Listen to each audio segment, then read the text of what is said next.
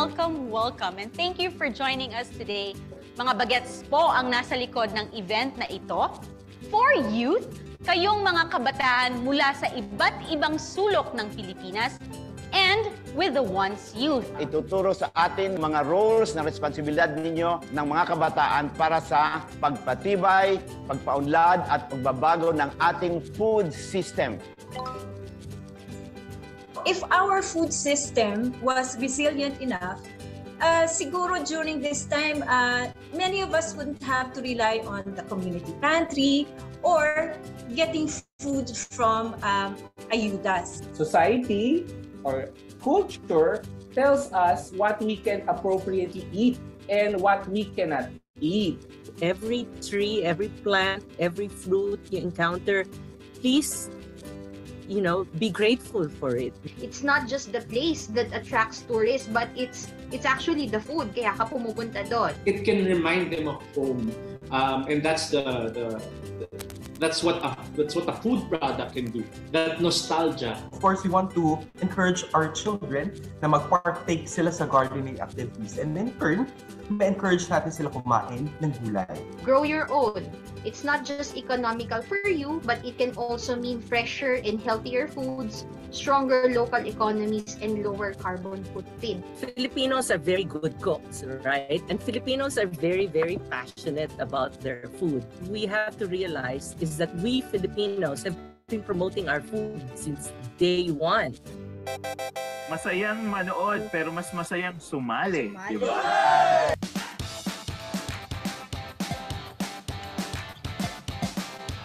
it's na tong platform at avenue for you to also show kung ano yung galing at talino at innovative and creative ideas niya sa pagluluto. I really hate pausing shortly to peel shrimp while eating.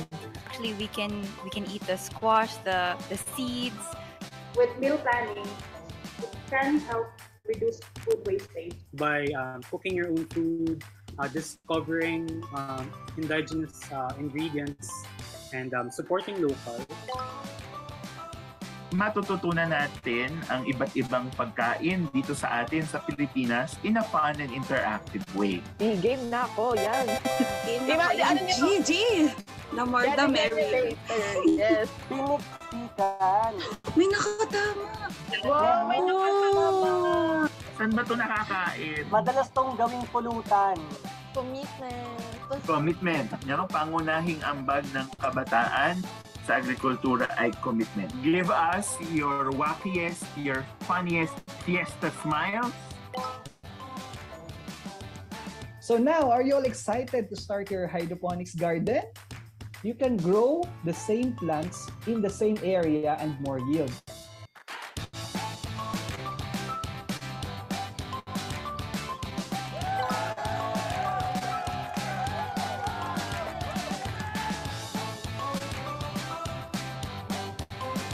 Sa ngalan ng aming pamilya sa Sirka, lalong-lalo na sa mga Sirka kabataan na nasa likod ng programang ito, maraming maraming salamat po at mabuhay kayong lahat.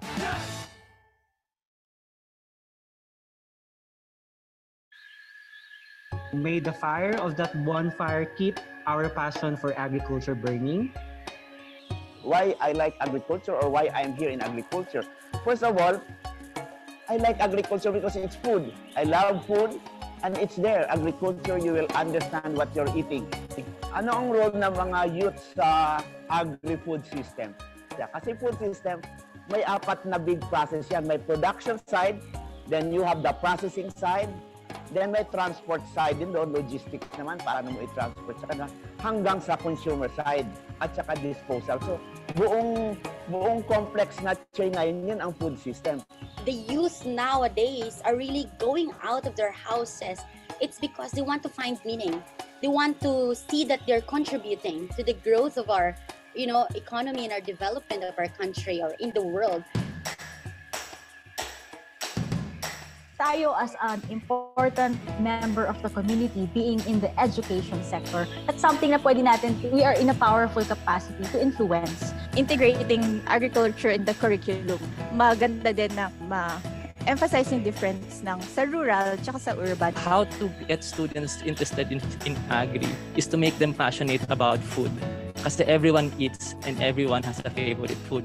Sinishare ko din yung life story para para ma-inspire talaga sa kasi yun talaga yung kailangan ng mga youth ngayon, inspiration. In terms of this question, I would say, ano, sibuyas. Konting tawa lang, may luha na. Ah, feeling ko man eh. Looking at the right partnerships could really help you um, have that seamless mobility of your product. So support group for young agripreneurs. It's really mentorship, but very important. So very quickly, I'll give you a visual journey of today's virtual youth camp. First, we had our campfire pep talks. Food is our umbilical cord to Mother Earth. Changing the narrative to make farming sexy. For the Bahay Kubo sessions, uh, there's a disconnect from the curriculum and realities. There's a knowledge gap on agri. And as for initiatives and solutions, um, having using social media as a communications channel to young people. And as for ways forward, to strengthen partnerships and collaboration, with, uh, an abundance of opportunities. With today's camp discussions, we want to gather youth perspectives on challenges and solutions in the agri-food system amidst and post-pandemic.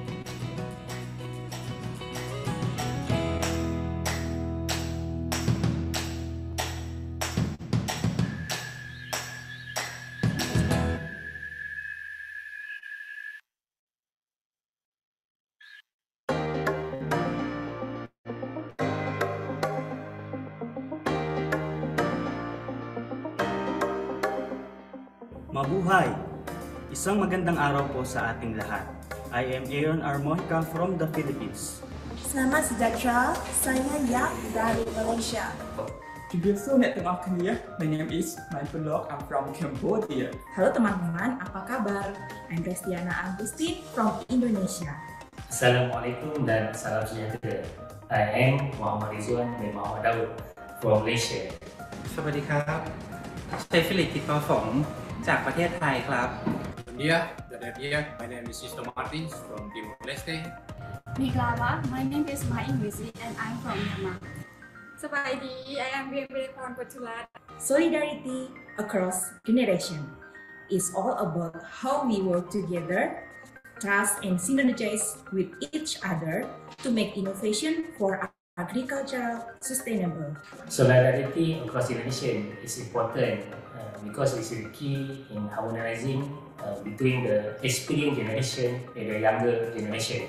The different generation may have different thinking ways in order to provide different ways to uh, to solve the problems and challenges faced in agriculture nowadays. Solidarity across generations is important and can be considered as a key to accelerate agricultural and rural development by uniting the awareness, knowledge, and perspective of different generations in attaining sustainable development solutions. The thing is that we should try to understand and connect each other and then uh, together with them.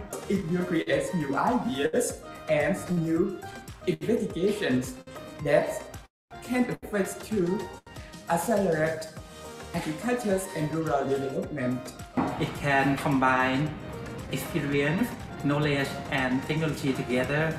So let's have empathy and go better together. We use are more energized so we can focus on the modern agricultural research and we have a lot of creations.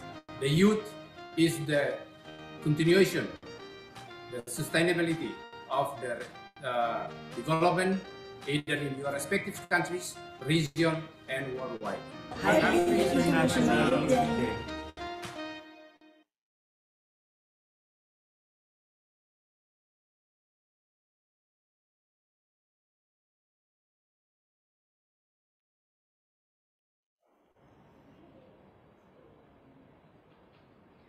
Good morning, everyone, or perhaps good morning, good afternoon, good evening from wherever you are joining around the world. Welcome, welcome. This is the Southeast Asian Youth Fest brought to you by the Southeast Asian Regional Center for Graduate Study and Research in Agriculture, or SEARCA, particularly the Young Forces for Agricultural Innovation, or Y4Agri, through the cohort of the SEARCA Youth Ambassadors Platform, or SIAP. I know, I know, that is a lot of acronyms. So that's SEARCA by Y4Agri through SIAP. Allow me to give you a bit of a background of who we are. SEARCA is one of the 26 regional centers of excellence of the Southeast Asian Ministers of Education Organization, or SEAMEO. We are mandated to strengthen institutional capacities in agricultural and rural development in Southeast Asia through graduate scholarship, research and development, and knowledge management. We serve the 11 SEAMEO member countries, namely Brunei Darussalam, Cambodia, Indonesia, Lao PDR, Malaysia, Myanmar, the Philippines, Singapore, Thailand, Timor-Leste, and Vietnam. SEARCA is hosted by the Philippine government in the campus of the University of the Philippines, Los Baños. So we are coming to you live from Los Baños, Laguna, the special science and nature city of the Philippines.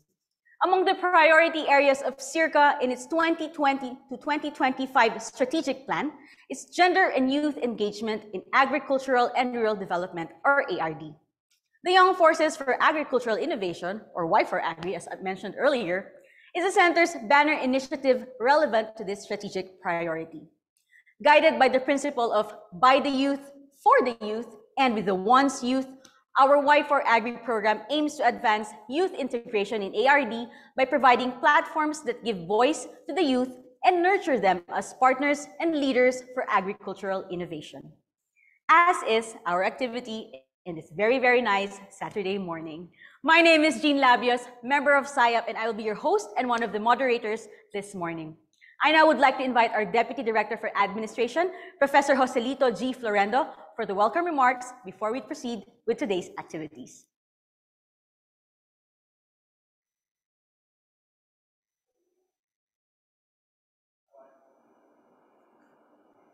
Mabuhay! On behalf of SEARCA Director, Dr. Glenn D. Gregorio, I am happy to welcome you all to the first Southeast Asian Youth Fest. This event is one platform that we are eager to host for the young ones and once young, as one of the priority areas of SEARCA is gender and youth engagement in agricultural and rural development. The theme of this Youth Fest is about a food secure future, and we want youth to share with us your voice. This learning event is a fitting way to be aware about the state of food security in Southeast Asia, to appreciate the best practices that you can apply to your context, and most importantly, to hear directly from youth on perspectives and ideas for pragmatic solutions to food system gaps. Making this event more meaningful are the young people behind this event the young staff of SEARCA from different departments and units who comprise the SEARCA Youth Ambassadors Platform, or SIAP. From concept to implementation, SEARCA's youth are leaders and mobilizers making this event happen that is truly by the youth and for the youth. We are honored today to be joined by a lineup of food system experts who are youth professionals and even those who were once youth professionals to truly make our discussions intergenerational. I am also glad that setting the tone of the Youth Fest are two esteemed guests giving the keynote speeches. First is the country representative of Singapore, the SEARCA's governing board, and an associate professor from the National University of Singapore, Dr. Chew Fook Tim and the International Professor of Sustainable Agriculture and Global Food Systems from Cornell University, New York, Professor Dr. Khin Mar Cho. Later in the parallel sessions, we enjoin you to speak your mind and to share your voices on special food system topics with our guest speakers. Hear the essence of their work, learn from their success stories, and reflect on what youth can do for a food secure future. Again, welcome to the Southeast Asian Youth Fest. We are glad that you are here with us, and we hope that this becomes an enlightening and enriching learning experience for all of you. My name is Joe Florendo. I am from SEARCA. Magandang umaga, good morning, at maraming salamat po sa inyong lahat.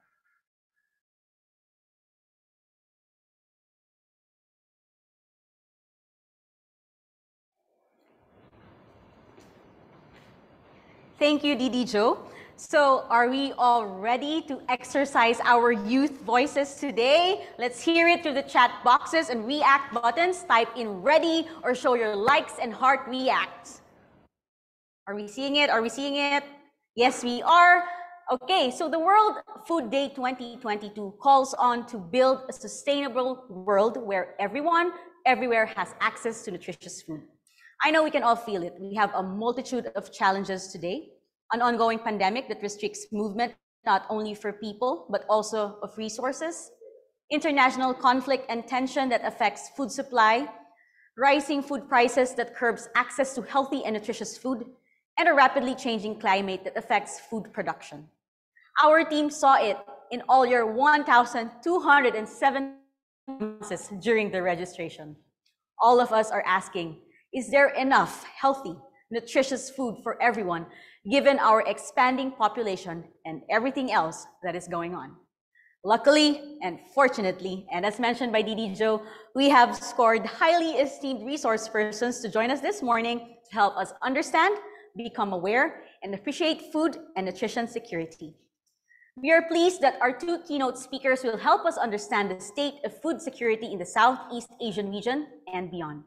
Afterwards, we will have four parallel sessions with experts who will share their thoughts on the topics of multi-stakeholder partnership and sustainable investment in food systems, rediscovering Southeast Asian food culture and understanding the changing food landscape and its effect on food security, securing a nutrition-conscious young generation by promoting healthy diets in schools, and innovation opportunities to counter food and agriculture sector disruptions.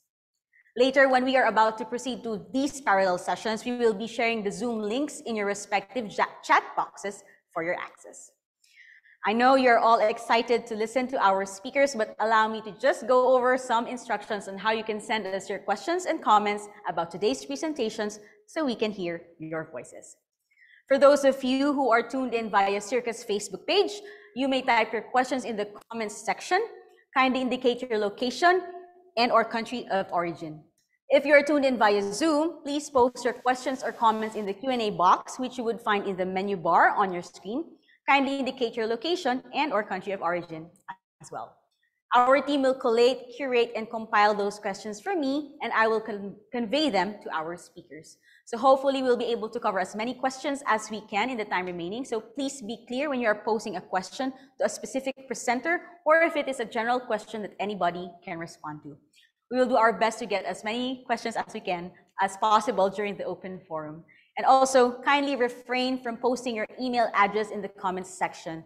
You can provide this information to us upon responding to our evaluation form and e-certificate request, and the link will be posted at the end of the forum. All right, we are ready for our keynote speakers.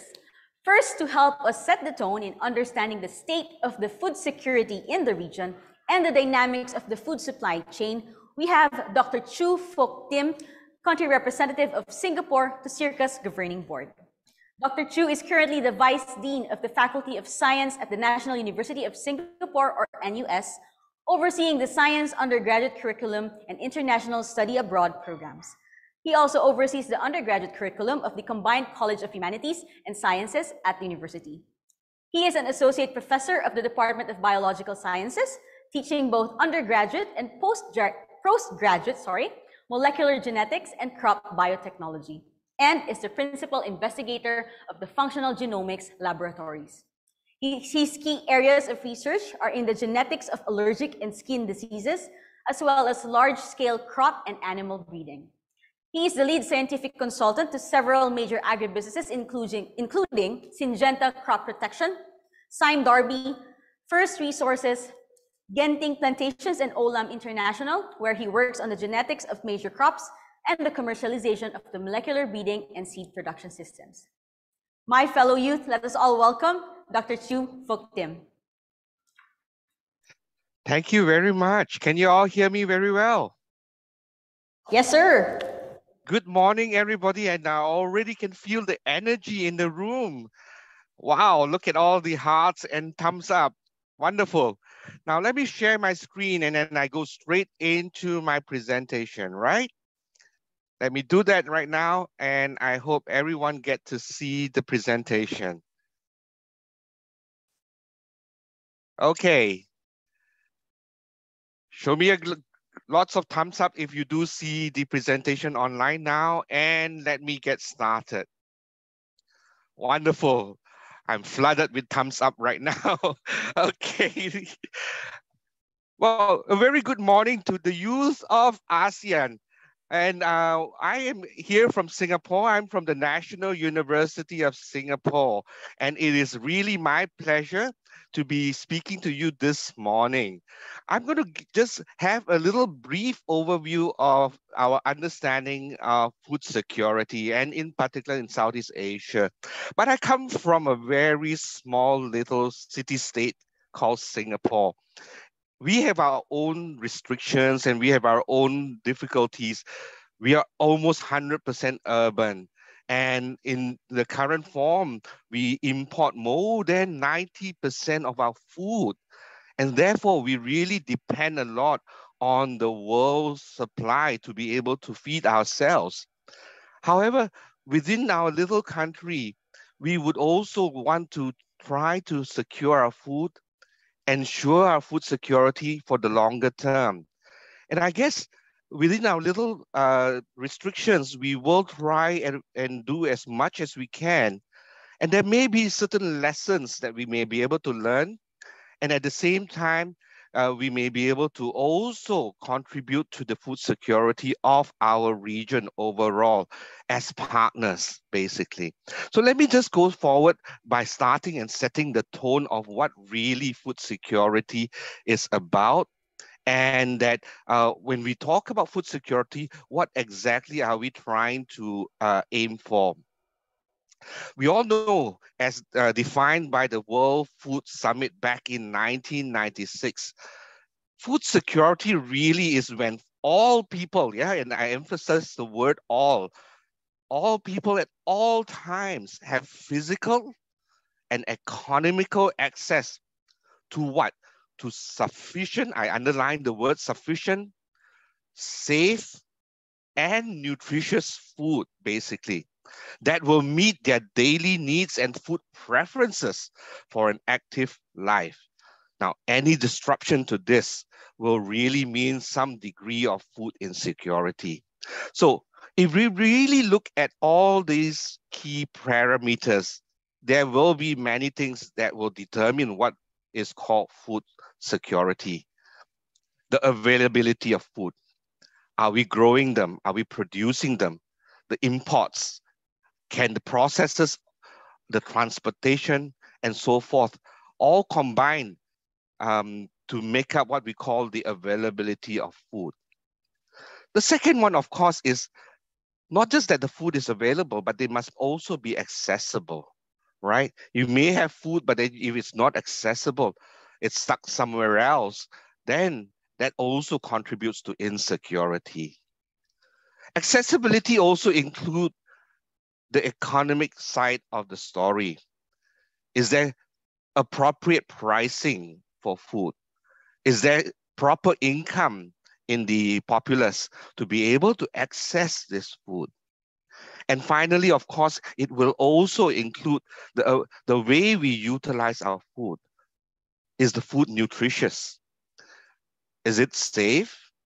And also, does it come in a form that is uh, hygienic and sanitized. All these will contribute to our food security, the stability of our food, and also another term that I will want to emphasize is the robustness of our food. Now, we all know many things are happening in the world right now, right? We've got climate change, um, we've got severe weather, we've got political crisis, we've got war, conflict, Sometimes even those conflicts may be all across halfway across the other side of the world, it will still influence us. That's how connected we are. We all went through or are still going through what we call the COVID 19 pandemic. All these individually and in combination will influence availability, access, both physical access, economical access, and also how the food is presented to us. The global and longer term uh, disruptors or disruptions will be something that I will be most uh, worried about, right? The prime of this all is really climate change. And I think um, I'm very glad that we are all aware and also we have experts here who will talk a lot about this and therefore I don't need to continually emphasize this, but it is something that we must be having right in front of us a very good friend and colleague of mine, Dr. Tan Siang Hee. He is from Crop Life Asia, uh, that's housed in Singapore. And he very recently, the 13th of October, published this uh, article in Business Times in Singapore. It's about the rising food insecurity, in particular, the rising food insecurity in ASEAN and in Asia he really emphasized the fact that, you know, there is climate change, there is a lot of uh, conflicts happening all over the world, and then there's also that pandemic and many more. But one key factor that is really unique to us is that number one, these rising food insecurity is really pinpointing and focusing it on Asia and ASEAN because all these disruptors will somehow influence Asia and ASEAN very dramatically. Number two, however, let's not talk just about the problems that we have faced. We all are probably aware of them. But let's talk about how we can come together to make this insecurity not necessarily just go away, but actually we move away or alleviate away from uh, the insecurity. And he really emphasized this. One, in Asia or in ASEAN, many of our food production systems are really coming from smallholders. And the definition of these smallholders are really those that are fewer than two hectares of land. And these breakups of little, little smallholders really make up the largest proportion of our producers in Asia. What we really need to be able to do is that we need to create partnerships, partnerships across the food value chain to make our regional food system, as is written in the article, to make it more resilient. And this is really crucial. And in the face of our growing challenges that we've just mentioned, and the consequences of this, it is absolutely paramount that we have partnerships across countries, partnerships between government and private agencies, NGOs, partnerships with the small farm holders in particular, especially since they produce the majority of our food. So key word here is partnership, how we can actually create these partnerships. And today we are talking about partnership here in this forum here as well. So we are really uh, understanding that, that one of the key ways for us to overcome insecurity is to join hands and work together to solve these problems and focus them onto the people that needs them most, which are the really the small farmers and the small holders, landholders. The next the next component that he's actually talked about is about technology. And technology must play, is playing, and can play an increasing critical role to transform our food production and security. However, the challenge is not just having the technology, but really bringing the technology to where it really matters, which is the small farm holders. So really the time of uh, for us, all of us to do this, A, to have that partnership, and to bring that technology, yeah, amongst all of us in the private sector, the government, the civil societies, the entire chain across the region.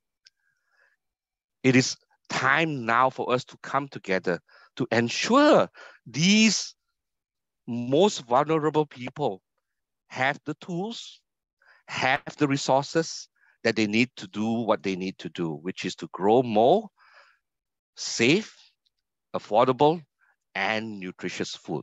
This is the key message actually that he's written in this article and he really hit the he really hit the nail right on the uh, uh, target really what we really need to do so really my message should be focused on how we really gather the partnership and uh, use the technology but in the places where we really need it most and i want to show you examples of such partnerships that actually can be made and are already happening across the world and in particular in Southeast Asia.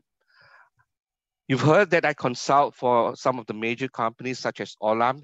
Olam is a Singapore-based company, but it is actually operating all over the world in Southeast Asia, in Africa, and so forth. Olam has got this process called Olam uh, um, uh, Digital Olam Connect. This is really to allow the smallholders have the farmer's advantage. What does it do? It benefits more than 70,000 farmers across more than 12 countries, both in Southeast Asia as well as in, um, in Africa. What it does is it gives information to the smallholders. Now, handphone is very, very uh, um, uh, available today, even in the uh, uh rural areas in many places. And because handphones are so pervasive, they've decided that they will use that. And I'm not even talking about the very smartphone type of handphones. Yeah, um, uh, they even talk about the simple uh, messaging type and even all that. Some of these will allow transactions to be geotagged, timestamped, allow for traceability of transactions. This whole system allows um, also customers to have transparency of the price that they can get, what the market price is, allows them to bring things to the market as soon as possible when they know the price is right. They also know when the supply and demand is, and then uh, they don't need to go through a third party or intermediaries. They also then allow the intermediaries to be the collection centers for communities, thereby create uh, opportunities in the rural environment for this to happen. They give insights into the weather, the pest alerts. They provide some degree of education in whatever devices that is available. Also allow for cheap finances and so forth. What this means is that if we think about what we have in our hands and ask this simple handphone, can we use this for something? Can we provide information that is free and accessible for people who may not know the supply and demand, who may not know the right prices, so that uh, at the end of the day, they will be able to be plugged into the global supply chain at the end of the day. So this is just a simple example of how technology can actually help access, give educational inputs uh, give them real-time understanding and so forth. So the youth of today, we should try to see how we can utilize what we already at hand and think, what can we transform this into a useful tool that will help the smallholders, the folks that do not have access to. So this is one example of utilizing technology and utilizing technology that can actually give rise to advantage to the people that really need it. Another example, and I really love this because I just visited SEARCA for the board meeting recently, and I had the privilege and pleasure of visiting the Institute for uh, Plant Breeding right in the campus at UPLB.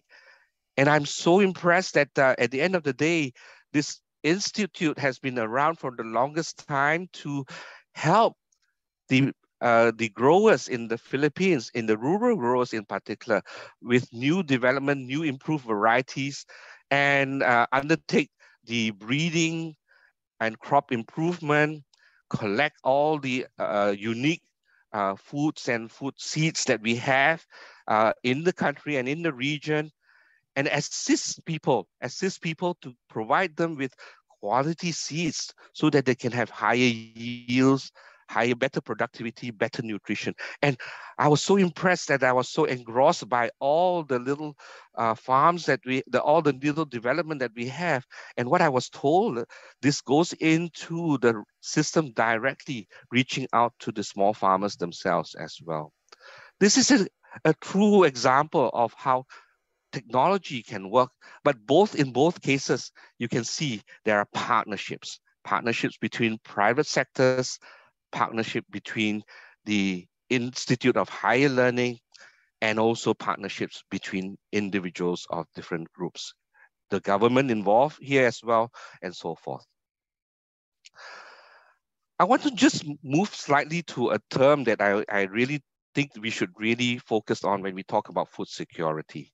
We talked about food security being in the in the earlier part where I said it's really about access, availability, and uh, the utilization of the food that we have.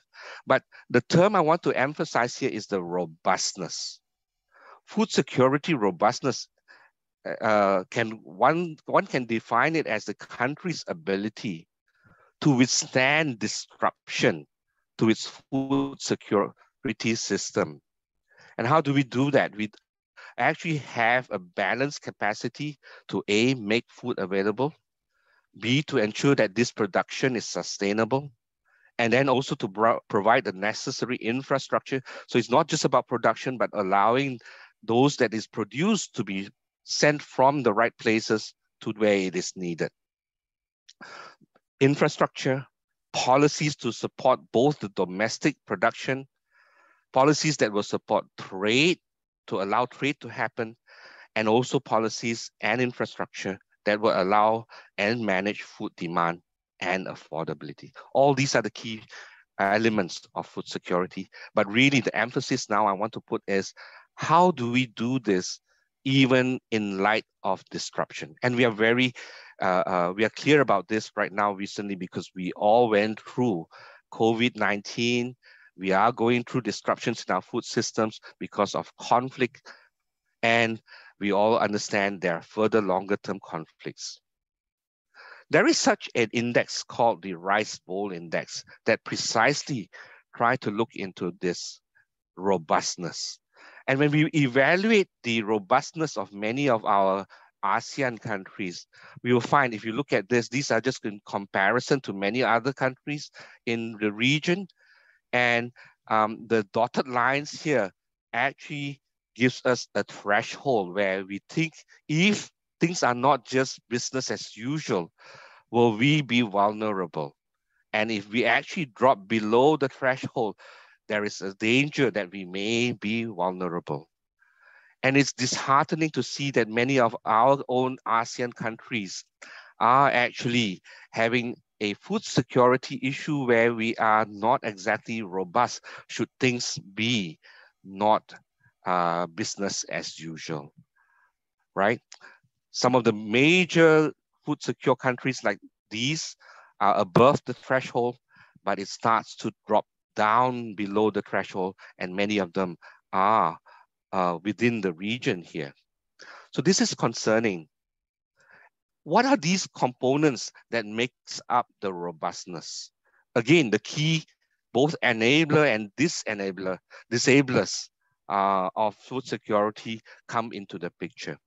Do we have uh, an, a good control or good hold of the environmental uh, resources that we have? Do we know and are we able to manage the demand, demand and supply and also the price? Do we have sufficient policies, both for the production and the trade, and also very more importantly, actually, at the farm level, do we really have access to technology and innovation? Are there sufficient ed uh, education and so forth? Now, the majority of this robustness really lies in the farm level, right? Farm level is a major uh, farm level enablers or disablers are really the major contributors to whether one is robust or not and whether we can stand uh, any disruption to our food secure system. Now, let me just, in the last part, very briefly ask a few questions and just reflect on myself and my own country where we, I, I stay in. We are a very small country, and I'll ask the question, how food secure are we in Singapore? What lessons can we learn? What is Singapore doing to assure its own food security then? Uh, because we surely have a lot of challenges. And what are we going to do moving forward? What are the prospects and what are the possibilities? These are the questions I'll ask. There may be lessons we can learn from here. There may be things that may be different in the different countries and the different contexts, but uh, definitely we can share. And it may need for us to customize our solutions for where we come from. This is Singapore, and we do have some parts of Singapore that produce food. And I love going to this place um, this is right in a place called Tengah in Singapore. And Tengah is actually a Malay word for the middle. So really this is the middle, right in the center of Singapore where we have these little farms, greenhouse farms and so forth. And this is one that is a uh, weekend farmers market that I always go to. In fact, I was uh, almost there in the morning uh, every weekend as well. And you have actually people growing these and growing them. But really in Singapore, we actually import 90% of our food. So really, where are our food coming from? We actually have 90% of our food imported. The other parts of our food comes from food that we produce overseas in contract farms. We produce some ourselves in-house, and we have some reserves and stockpile. So the question that I ask then, therefore, is how secure is Singapore? Now, if you look at all the uh, uh, charts and indexes, people somehow put Singapore as very secure in the foods. And how is that so? We don't produce many of our foods. How is that so that we can be secure? But really, when we look at the robustness of our food system, we also need to realize that we may be Uh, uh, disrupted if there are things happening all over the world. So for us, the policies that we put in place are that we need to make sure our food system is resilient. And since we import so many things, we really need to diversify our imports and not just depend on one source and one place. Secondly, we need to expand our self-production so that this self-production becomes uh, a buffer should things happen in our imports. Thirdly, we need to expand further, right? Both for informal and informal agreements to produce. Of course, we also need to make sure we use our nutritional and our existing food well, not waste them, reduce the waste and so forth. This is where we are. We are really a unique place where 90% of our food comes from all over the world. And we have um, uh, only local production that produces about 30% of our eggs, 8% of our fishes and fish proteins, and about 4% of our leafy vegetable at the moment in Singapore only. And we're not just feeding the 5 million residents, we are feeding about 5 million residents plus maybe uh, four times more every any time uh, of the year uh, due to the transit people, the transient people that such as tourists and others as well. So you can see this is where we get our food from. And what we really need to realize is that for us to be more resilient, we need to uh, probably diversify and strengthen our uh, food imports from all over the world. In the 2014, we import from 160 countries. We've expanded this to even more now, to even close to 180 to 990 countries all over the world. But this is still not good enough.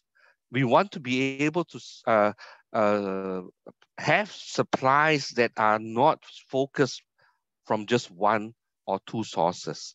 And this is a key policy for what we are trying to do, that we need to diversify from all these sources to be able to have multiple supplies just in case anything happens and any disruptions happen. The second item that we realize in Singapore is that food security and food self-reliance is very much uh, connected to international trade for us. There is a uh, uh, some level of domestic production that is needed, but that some level of domestic production is really to generate enough capacity in say for us to one import more and two buffer us should there be anything that happens. So for us, the understanding is that international trade is essential for our food security.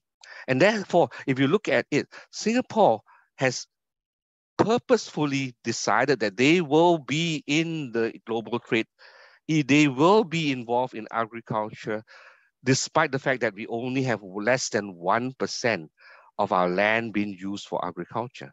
We must be plugged into this thing. We must be involved. We must be involved in the production. We must be understanding the trade. We must totally be in the entire supply chain of the whole global trade. And that's why we you see that Singapore is really the agri hub for many, many commodities. Uh, it's the world pricing hub for many commodities too. It's the home for about 70% of the top agri commodities trading companies. And really at any one time, 20% share of the global agri commodities is actually coming in and out of Singapore at any one time. To us, this is the concept of what we call dynamic stockpile, that we are plugged into the world and that we are involved in it. This is an example which says that actually at any one time, we are really uh, trading over 1.3 trillion of the agri commodities. But that's not good enough as well. As mentioned, for us to be robust, we also need to have internal production. How do we have internal production that's able to produce for our needs, but at the same time buffer should there be any disruption? You can see this is only the little places that we have, and we have aqua zones around Singapore that are able to produce aquaculture fish, but we produce not enough for ourselves. So what is our plan therefore? Well, to secure further production, we have a plan called 30 by 30. 30 by 30 simply means by 2030, we should move our production ability to move up to 30% of our nutritional needs. And this is actually an opportunity for us to turn our challenges into opportunities. What is Singapore? Singapore is all urban. So we therefore have no choice but to focus on urban agriculture or urban food, food production technologies. We also need to make sure that our consumers demand, uh, our consumers have safe, healthy food, and therefore we focus a lot on safety, on food that is healthy and food that is sustainable. We are a hub for uh, uh, R&D, and because of that, we think that we should take this and exploit this R&D into the agri-system, not only for ourselves, but really for the region and beyond. One example for this is that this is what we do with vegetable farms. We only have 1% of our land used for agriculture. How can we produce more? Well, the way we used to think about it is that we need land for soil production. We're now going indoor onto high rises, onto uh, uh, uh, public places that are actually originally all urban and hopefully we are able to produce not just 140 tons per hectare per year, but even up to 20, 250, 2 point, uh, 2,500 tons per hectare per year. How do we facilitate this? This is probably best facilitated with key technologies. Even the sea-based farming or what we call land-based farming of fishes. How do we move from what we used to do at 40 tons to even up to 240 to 250 tons? And from land-based even to grow them from 34 tons to 500 tons. And now we are also focused on how do we deal with alternative new types of proteins. There are already technologies and technologies today are actually coming to the point where they're becoming mature for us to use. And these are some of the examples, very recent examples, right? So the next thing we want to be able to do is harness our people, excite our people that this is important and use our technologies to this advantage. Focus people to apply them to tropical agriculture and aquaculture, and in particular urban agriculture. How to raise land productivity, how to reduce costs, how to improve nutrition, but how to also make all this sustainable. This is just some of the key uh, uh, key goals that we have set out in our what we call the Singapore Food R&D story. This is one example, and this is my own research assistant who's able to now grow indoor. This is a kale, and many of you may think this kale is grown uh, maybe uh, outdoor for say four or five months, but really this was only a four week old kale actually. And you can see how this is how big this is compared to even my, my small little research assistant. But this is really possible by using technology, combining all our resources and thoughts and understanding of how we harness this technology to be able to do this. This is exploiting the understanding of our genetics and selecting based on the genetics. Another example is how we can grow fish like this in multiple aqua decks. And this is one that is constructing and it, by today it's already operational. The whole seven story has multiple aqua decks like that. And we couple this with uh, genetics that is able to breed them uh, using deep genetics so that they can grow faster and produce uh, healthier, use less feed. And this is also a clawfish with all the eggs here. And this is able to actually grow and, uh, and in this kind of system. So really, how can we then not just meet our own needs in our little tiny island, but now expand this to say, can we grow together? Can we exploit our resources and technologies and know-how together as ASEAN and come together in partnership and in uh, allowing our technology to reach to the places where really it is really needed. So let me stop here and I'll be very glad to answer many questions later on. And should anyone want to contact me, this is my email and this is my contact. Thank you very much for the opportunity. I will look forward to hearing many questions. Thank you.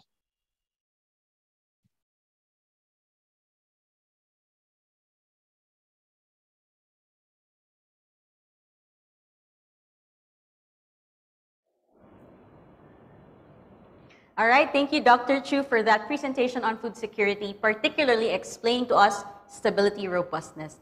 In the 1,200 reg registration responses, the economic access was brought up multiple times, and we can see how this is such a pressing concern, especially for the forecasted global crisis in 2023.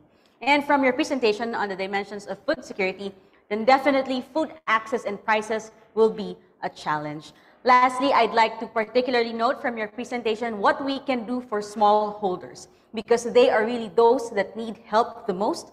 We here at SEARCA also believe this is very, very important for us in the region and even beyond. So to our audience, do not worry, our speakers' presentations will be uploaded to our website, so you'll be able to access these as reference materials as well. Thank you, Dr. Chew. Singapore's story is quite inspiring. Definitely, those are some lessons we can learn from and customize to our local context. So to keep our discussions even more exciting, I was just told by our team that we are giving away this beautiful Southeast Asian Youth Fest or SYF bag. But for you to get a chance to win this uh, bag, we need youth to be active in this forum. So actually, we can see you very, very active I think we have around 600 online in Zoom. Thank you. And um, either you ask questions here or later. You post on Facebook about your learnings from this forum. Just make sure to follow our Facebook pages, SEARCA and the hashtag Y4Agri. And in your posts, use the hashtag SYF2022 and hashtag Y4Agri so we can monitor your posts. So far, so for those who asked questions today and posted on Facebook about their learnings, we will raffle the names and pick five who will receive this bag. We will ship this wherever you are in Southeast Asia or beyond. Are we sending them if they go to the moon or something? I'm kidding. So for those of you who already have questions for Dr. Chew, key it in the chat box so our team can collate already. For those joining via Facebook, just post your questions in the comments section. We will try to raise these later during the open forum. On to our next keynote speaker. From Dr. Chew, where he presented the state of food security, we now move towards the relation of this, food systems, to dietary, nutritional, and environmental outcomes. This is another topic that arose from your registration, so thank you. Um, we have with us this morning, joining all the way from New York, who is 12 hours behind Philippine time, is Professor Dr. Khin Mar Cho, International Professor of Sustainable Agriculture and Global Food Systems from Cornell University. Dr. Cho has over 25 years of experience in working on sustainable agriculture, extension, extension modernization, food systems, nutrition, and rural development with government agencies and universities, private sector, NGOs, and nonprofits globally. In 2010, she established the Dr. Khin Mar Cho Foundation, supporting over 1,500 children from village schools in Myanmar by providing scholarships and building libraries. In 2016, she was a U.S. Fulbright Scholar teaching extension modernization for agriculture and fisher fisheries in the Philippines as visiting professor at the Central Luzon State University. Professor Dr. Khin Mar Cho, good evening. The screen is yours.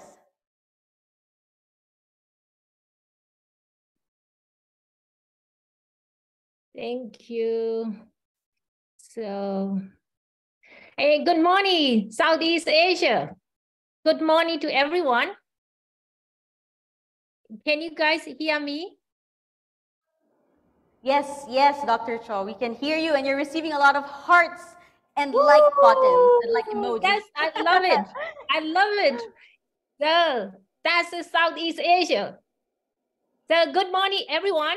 And before I share my screen, so I'm using um, a little green because you see, uh, we have a very cold weather here and uh, starting on the fall and uh, very cold. And also, again, this is evening and uh, so 12 hours behind. But I'm so much looking forward to hear from our youth, your voices, Southeast Asian voices, your perspectives on food system issues and food insecurity issues. So that's, I'm very happy to be here with you guys today. And I will try my time and to share with my expertise. I'm really proud of all of our Southeast Asian youth. So let me share my screen with you guys.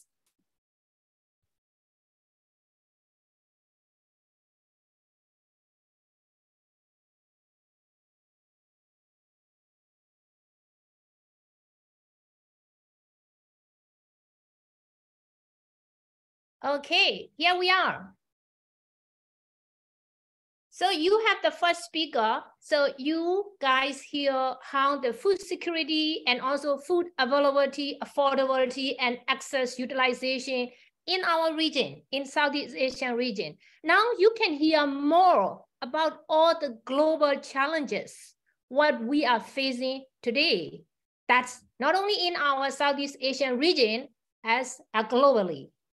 So the way what we eat, the way what we grow foods, crops, livestock, and fishery, and no longer with these so many global challenges. How do we deal with that? And you guys, the youth, you have a lot of energies and powers and very innovative. You guys are change, change makers. How can you involve in this the time of the transforming our food systems to every individual to get healthy and nutritious food for every household members. So youth, what do we call youth? Who are the youth?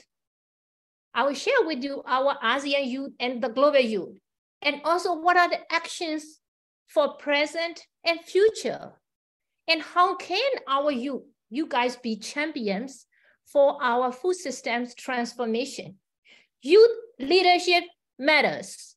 You guys are the leaders. Congratulations, before I start, to SEARCA for this, whatever the abbreviation SA1AP. And Young Forces for Agricultural Innovation, and also for SEARCA Youth Ambassadors platform, by the youth, for the youth, and with the ones youth. I love it. So good. So great principles.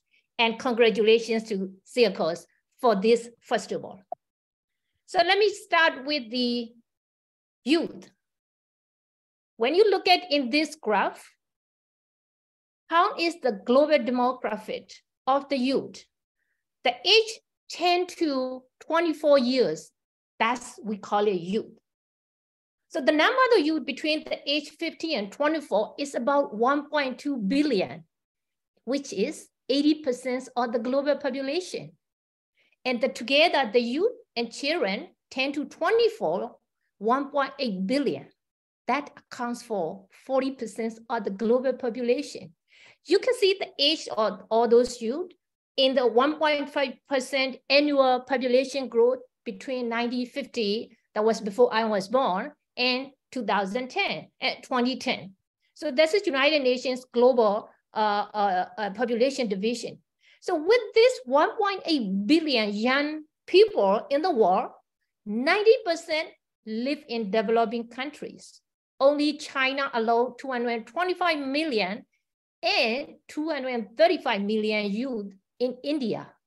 Hey, look at our Southeast Asia the population, we have over 681 million population in Southeast Asia, ASEAN, one third, one third of our ASEAN populations are youth, you guys. It's projected to peak at over 220 million by 2038. So what are the youth actions for present and future? So the United Nations, the Food System Summit that we hosted last year in September, or the youth actions for present and future. So all the young people played a central role in global deliberations and actions toward equitable and just food systems in preparation for the UN Food Summit. In the pre-summit, the global youth, they propose commitments and actions toward a better future for our food systems. What did they did that? They have been involved in healthier and more sustainable food everywhere, schools and universities, etc. And also healthy eating, active living practices. Stay away from the ultra processed food, sugary beverages, and reduce consumptions of animal-based and focus on plant-based food and do regular exercise, physical activities and also involved in healthy food productions in the community gardens and school gardens and the backyard gardens. And also plastic usage reductions and plenty trees. So the youth has been really involved in a lot of activities today. In the future, youth can take actions in supporting local governments, local farmers, family families in producing healthy, safe, and nutritious foods. Youth can talk about healthy food production and consumption on social medias, advertising healthy and sustainable food, and also actual food labeling and food marketing. And youth has been involved in food waste management by doing, making a glossary list before shopping, and they just buying the food what they need, they just cook what they need no food has been wasted.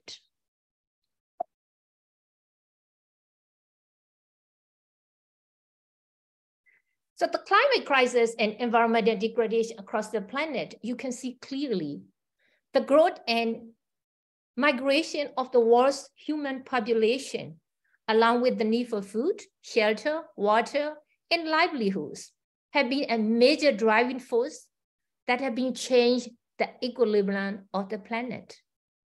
These changes include deforestation, ocean acidification, pollution, loss of biodiversity, desertification, and so on. So some of these processes have triggered climate change and climate-related natural disasters, poor air quality, water, and food shortages, and depletion of aquatic food sources, and conflicts over resource.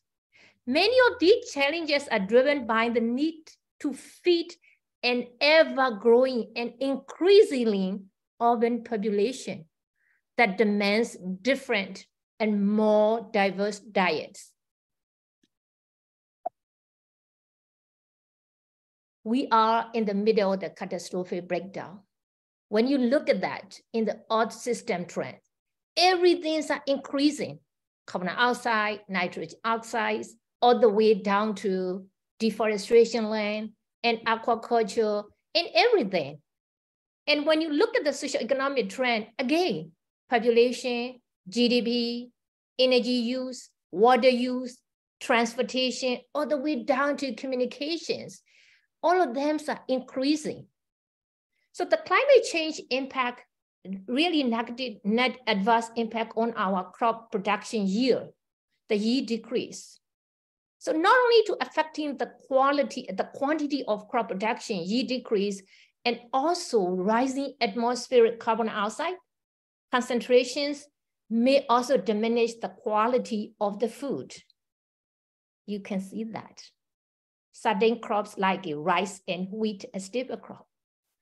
Their nutrient content, proteins, iron, and zinc, very important nutrient content has been decreased because of the carbon dioxide defertilization effects. Not only that, imagine the poor socioeconomic, the population with poor socioeconomic status who mainly rely on this stable food like rice and wheat. Their nutritional value, their nutritional status is very poor and they are facing with malnutrition. They don't have enough nutrition although they are eating a lot of wheat, a lot of rice, they have a malnutrition. How can we help them? And again, the climate change affect not only the quantity of the crops production, yield decrease, and the quality of nutrition of those proteins, irons, and zinc, and also the proliferation of pathogens and pests.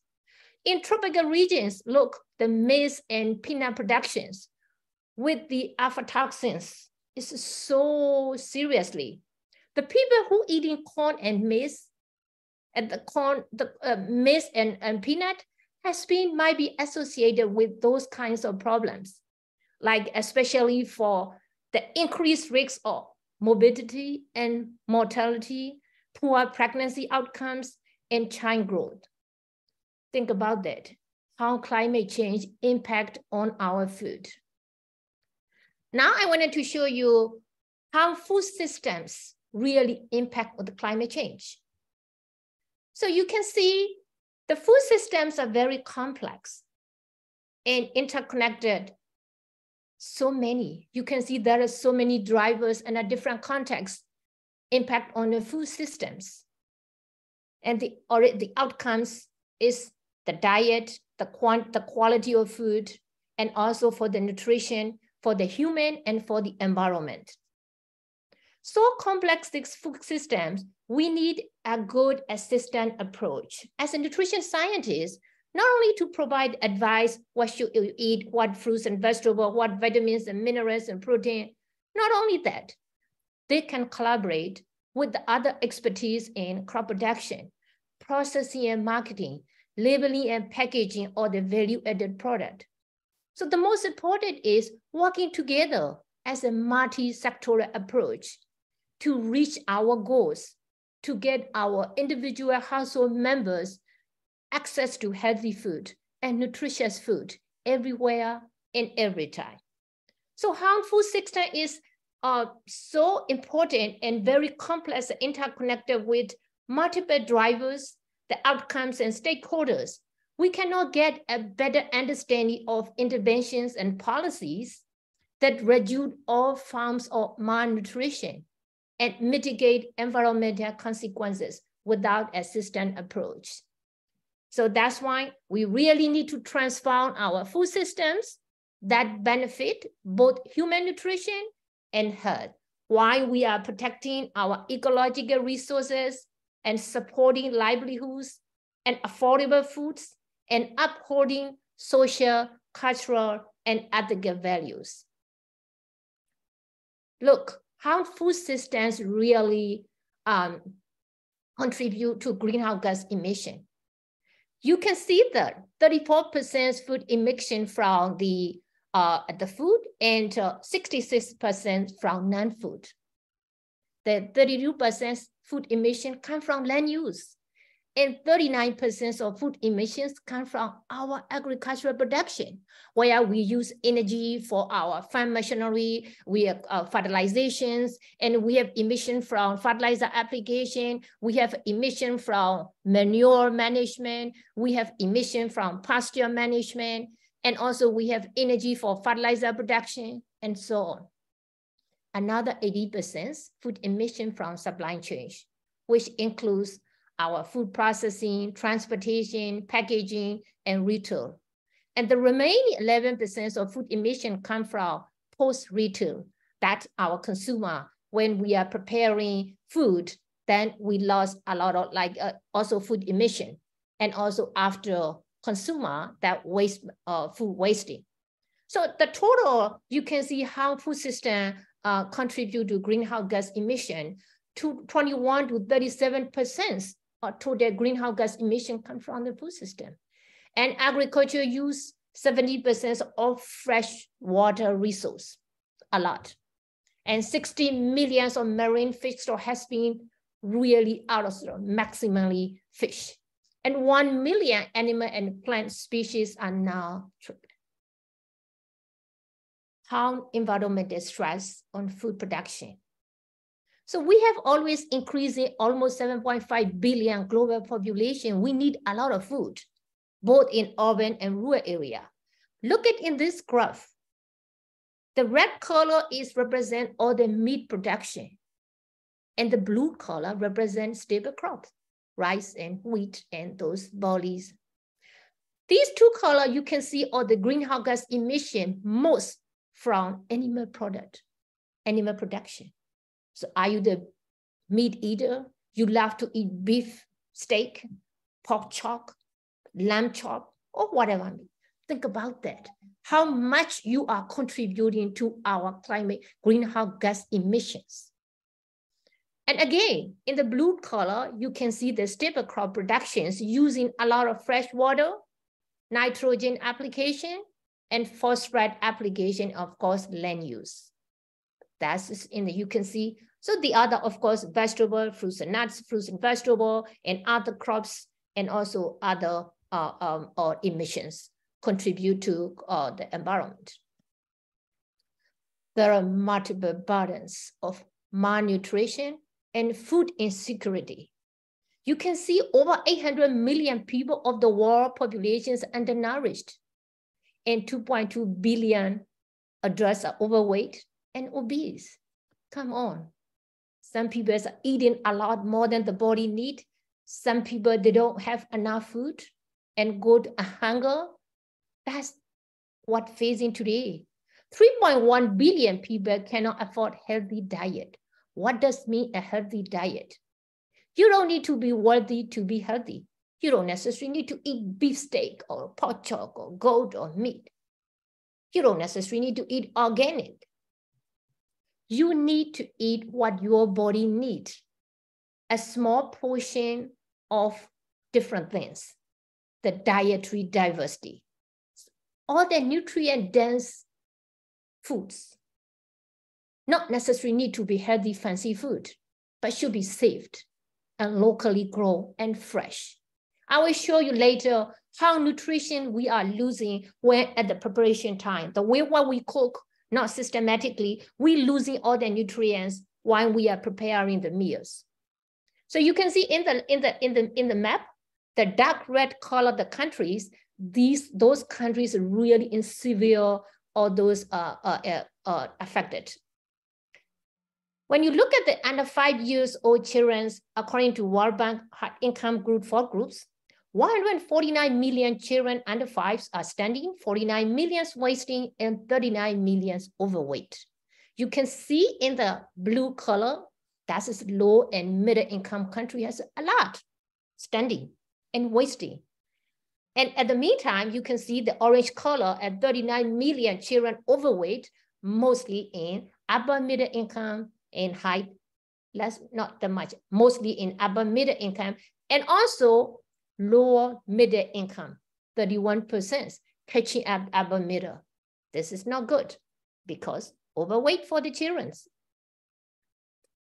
Look at that, the prevalence of anemia among the reproductive age of women, 15 to 49 years old.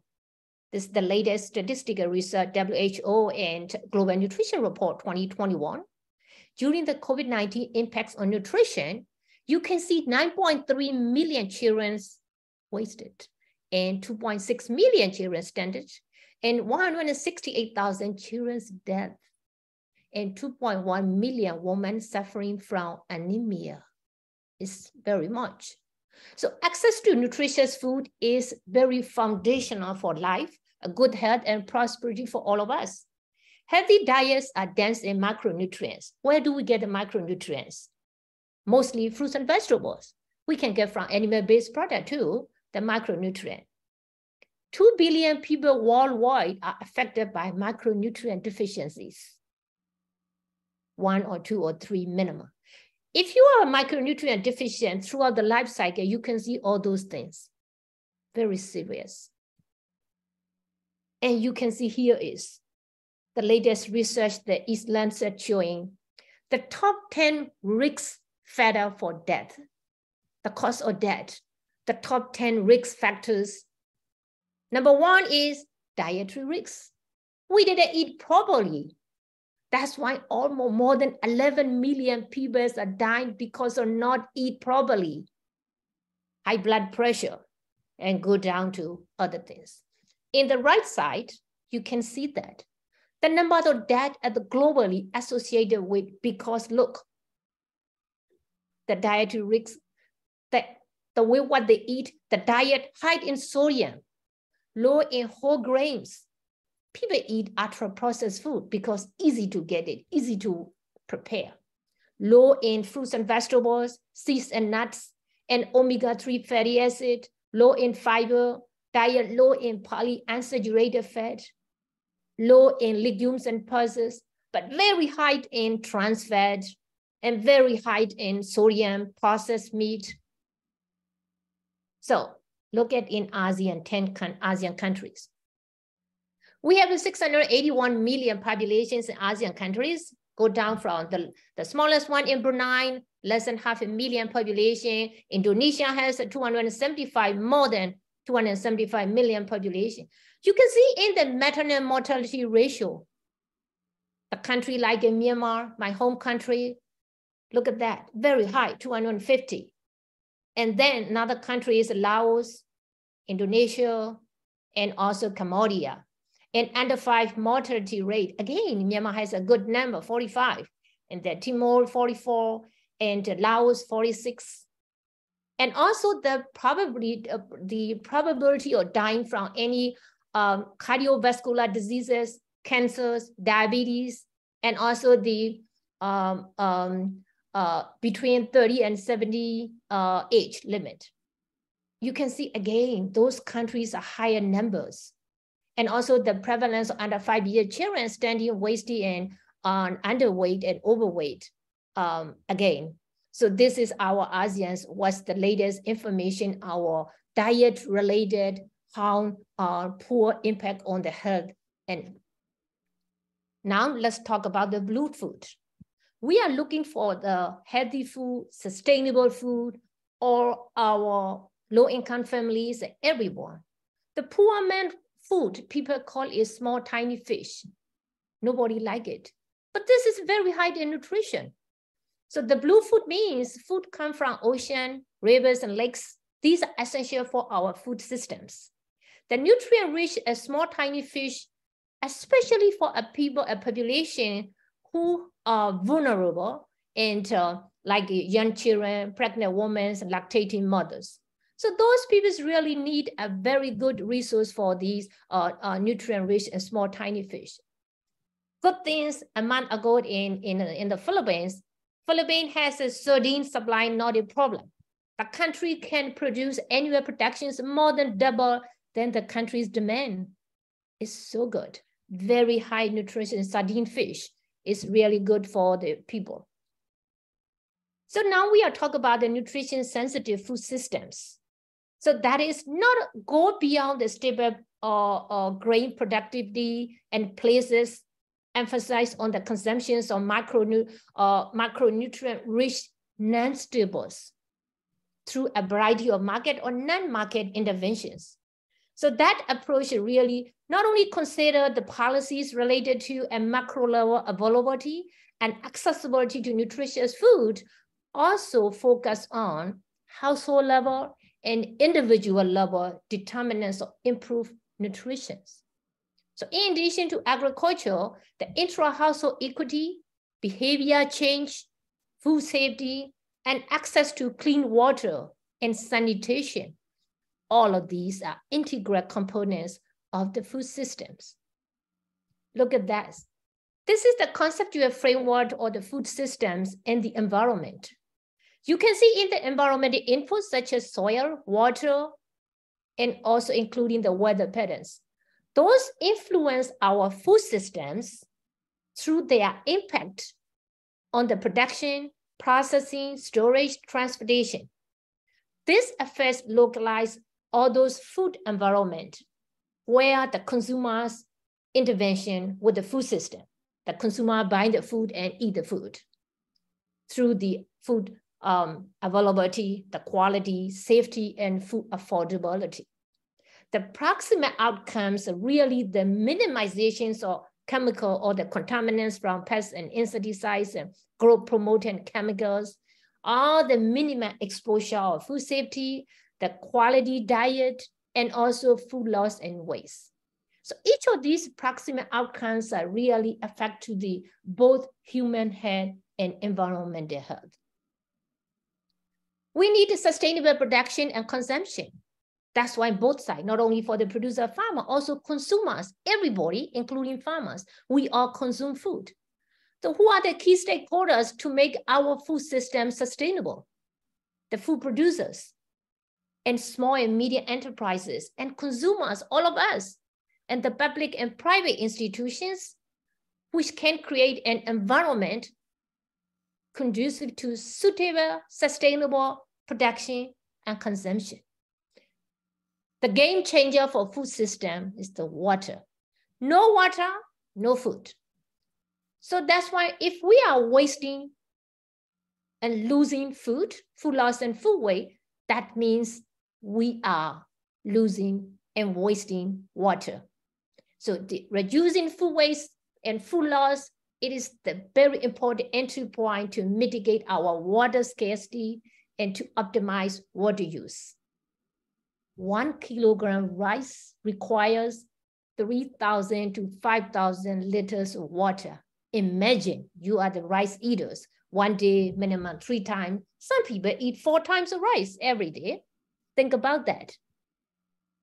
So reducing food waste and food loss what are the costs of these food waste and food loss that are numerous and throughout our food systems during the production, processing, distribution, retail and food service, and also consumption? We're losing food. Overall, one third of world food production has been thrown away. 931 million tons of food waste across the three sectors, household levels, food service, and retail, according to UNEP 2021. 121 kilograms of food per capita wasted. That's really huge negative impact on the environment. Almost 10% of greenhouse gas emission and also 25%, a quarter of the world's freshwater resource wasting. That's why the Sustainable Development Goals target 12.3 calls for reducing half, 15% per capita food waste from 121 kilogram to let's say 60 kilogram at the retail and consumer levels, and also reducing food waste at the production and throughout the supply chain, including post-harvest losses by 2030. How do we integrate our nutrition information into agricultural extension education programs? And what about the youth participation in this critical moment? We have been more than a decade research education about how to integrate these nutrition and agriculture programs. We have been a lot of evidence and success stories about multi-sectoral approaches. We work with different sectors, different ministerial, agriculture, health education, communication, and transportation using one health approach. These multiple pathways really influence, agriculture influence nutrition through these multiple pathways. You can see in this graph, the food production pathways, agricultural income pathway, and women's empowerment pathways. That is how do we integrate nutrition message in agricultural programs. Let me share with you very briefly here in the United States. Land grant university cooperative extension systems, how do they educate engaging the people for these uh, uh, uh, uh nutrition sensitive food systems?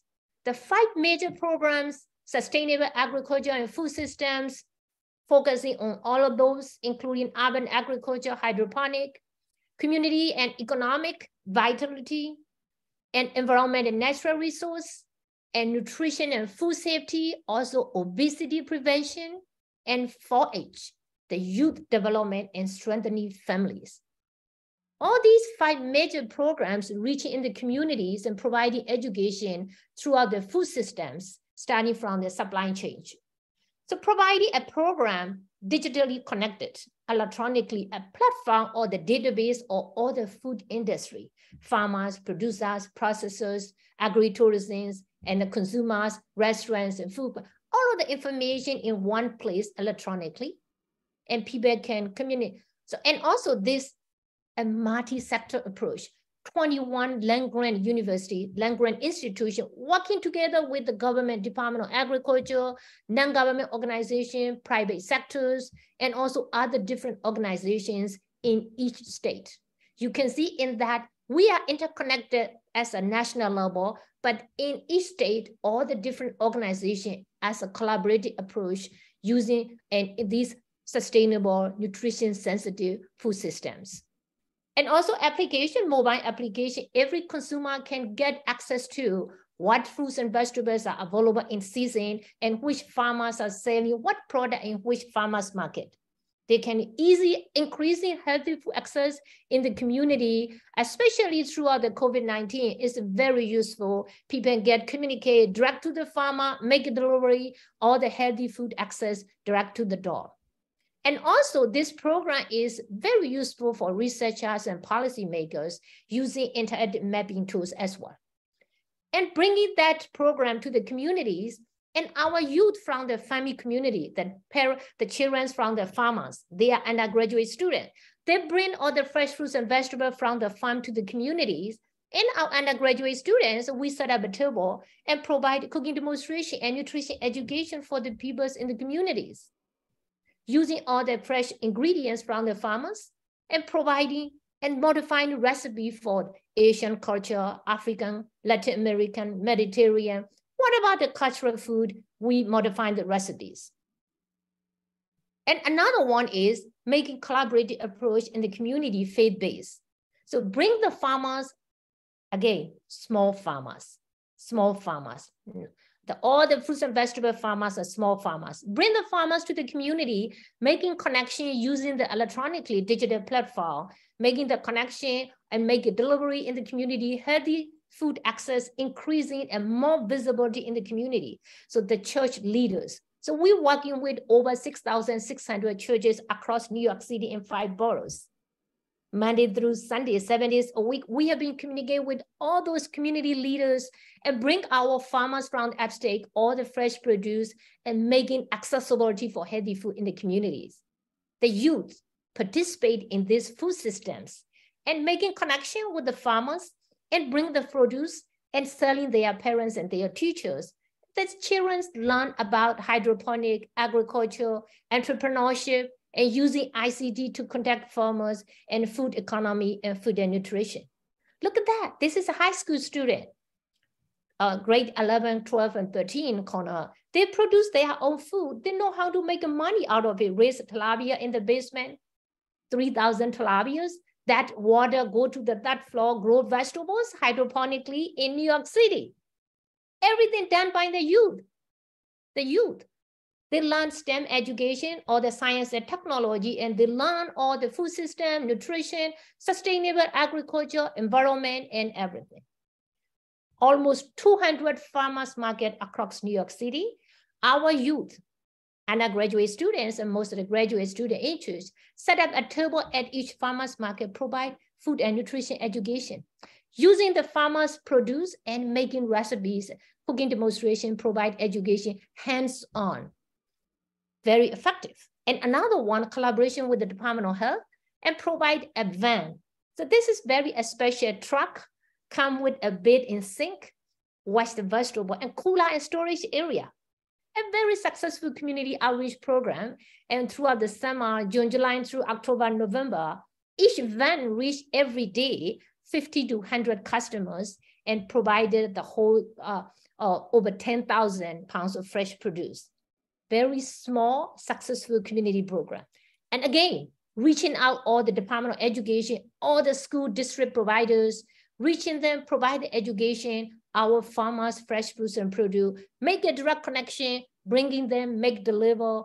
Every school has the accessibility to healthy food come from their own state, locally grown from farmers. Again, another faith-based community, more than 6,000 in churches. So they provide food pantry and soup kitchen for 3.8 million people registered under hunger. They get a free food, breakfast, lunch, and dinner, even grocery package.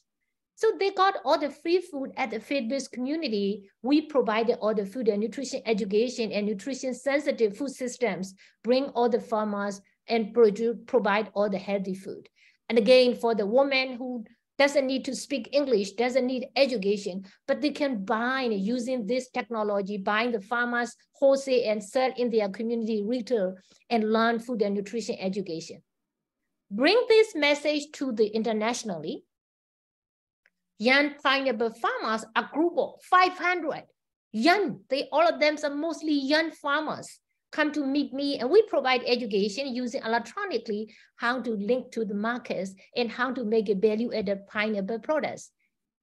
And again, in Rwanda, that's a very young people involved in this extension and dairy farmers and tea farmers provide nutrition education and food systems about the environment, the healthy nutritious access and everything. The similar in Ethiopia, farm to restaurant, all the farmers, the, the farmers, the children, the youth, they provide all the fruits and vegetables from their four acres from organic produce direct to the hotel's five-star Hilton. So making this, we provide education, let them use as a champion ambassador for their community and also get them involved. Here in the Philippines, that's right before the pandemics. So I give a nutrition sensitive workshop with a lot of like a, uh, youth extension workers in the Southern Mindanao. So they are very involved. Using our locally grown fresh fruits and vegetables, I teach them how to make healthy recipes and with Filipino context. And like a hands-on, get the foods and nutrition, and food system educations, everything, anything, get them involved. Again, nutrition sensitive animal husbandry practices at the Carabao Center in Central Luzon. So again, look at that.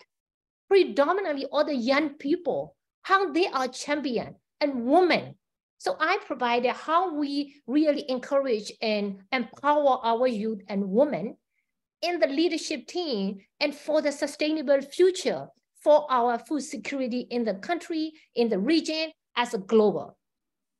And here in my home country in Myanmar since 2015, I teach nutrition information to agricultural students. undergraduate student at the university. And for the faculty, I provided trainee or trainers or the nutrition information to integrate in the agriculture. So the youth, they learn about the food. They have no idea about nutrition, what they are eating. Now they got the idea, the way what the crop production and also nutrition information and also altogether inclusive how food system should be sustainable future. And of course, the particular in upland areas, how they need in terms of nutrition sensitive agriculture and aquaculture to feed the people who are in need. Let the students, the youth involved in engaging farmers, let them have intervention about food and nutrition through the cooking demonstration, using all the ingredients from farmers' community garden, and uh, let them involve teaching them hands-on. The most important is always trying to educate them eat local, seasonal, fresh, affordable, accessible, safety, nutritious, and healthy food. The recipe with the principle dietary diversity. So the government official, again, most of them are just graduated from the university and college. They are now extension workers to provide advisory service to the farmers and community members they need nutrition information together with agriculture information. As a countrywide or the regional directors, extensions, they get all the certificate training from me and making a food calendar, food availability, food accessibility, food affordability exercise through the food calendar by different agro agroecological zones. Again, always through the food supply chain, we always integrate nutrition information in the whole supply chain and value chain, and even under waste management, how to make all those sustainable. Trying to reach a multi-based uh, uh, uh, the, uh, partnership. Go to the faith-based community and also trying to collaborate with them, provide nutrition education at the church. That's what we do here in New York City. I brought that message to to the to to to Myanmar in Chin So that's a very well accepted nutrition message and relevant too at the faith-based community. Provide everybody need to be healthy to come to the faith-based to do the faith things. Again, another multi-sector approach, working with the Department of Health, provide food and nutrition training to healthcare workers, nurses, and training. They've been learning for health issue. Now they get integration about food crop production, which part of plant they are eating and what nutrients they are. Ministry of Hotel and Tourism, again, all youth, 20 years old, 19, 18, 21, very active, full of energy to become a master chef. Provide them food and nutrition education along with food safety and hygiene management. And also the most important is to source locally grown fruits and vegetable, fish and seafood, and also seeds and nuts and create modified recipe and to create five star meal, very expensive fancy meal at their hotel restaurant. So during the pandemic, again, another food service provider that means including uh, food uh, restaurant hotel managers and Ministry of Hotel, Hotels and Tourism people, Ministry of Science and Technology and FDAs, those people get food crop production information and also nutrition information together. That's really very useful for our now the secure future uh, uh, sustainable food systems. So what should we eat for our body and how much and how often? Very simple. Starting from our brain, what do we need for our brain foods? What do we need our for the muscles and for our body energy, protein-rich foods, plant-based, animal-based, seeds and nuts, and fiber-rich food. And also micronutrient-rich, mostly fruits and vegetables, vitamin A, B, C, D, E, and K, and minerals, most importantly, calcium, iron, folate, iodine, potassium, magnesium, and zinc. A big list to think about healthier food. Just only think strategically a little, what is your income and resource available? Just think about that and also trying to very systematically what you should eat and how much. So don't eat too much rice or don't eat too much fancy food and medium. Just always, always a diverse diet for anything a little. Always go to the rainbow. We always tell them, all the rainbow color, the colors are very uh, efficient. So if you have a more color, you get more nutrient. So that's why always combination, you don't need to eat that much, just a little but diverse and locally grow. Don't go for fancy food imported from other countries. And again, always to prevent your nutrient loss. Most people eating very fun, even organic food, but when they prepare, they didn't do a correct preparation and they lose uh, like overcooking and a lot of min- nutrients are in the bio uh, uh, in in, in uh, uh, uh borderline and also into vitamin, uh, water soluble vitamin, vegetables washing a lot with the water, you lose all the vitamins in the washing waters. You throw all the water and also overcook vegetables. You are eating organic vegetable, you overcook, you don't get any nutrition. And also again, for the uh, meat, you overcook, didn't properly storage in the frozen or freezers or anything, everything. Please try to prevent not to lose your nutrient.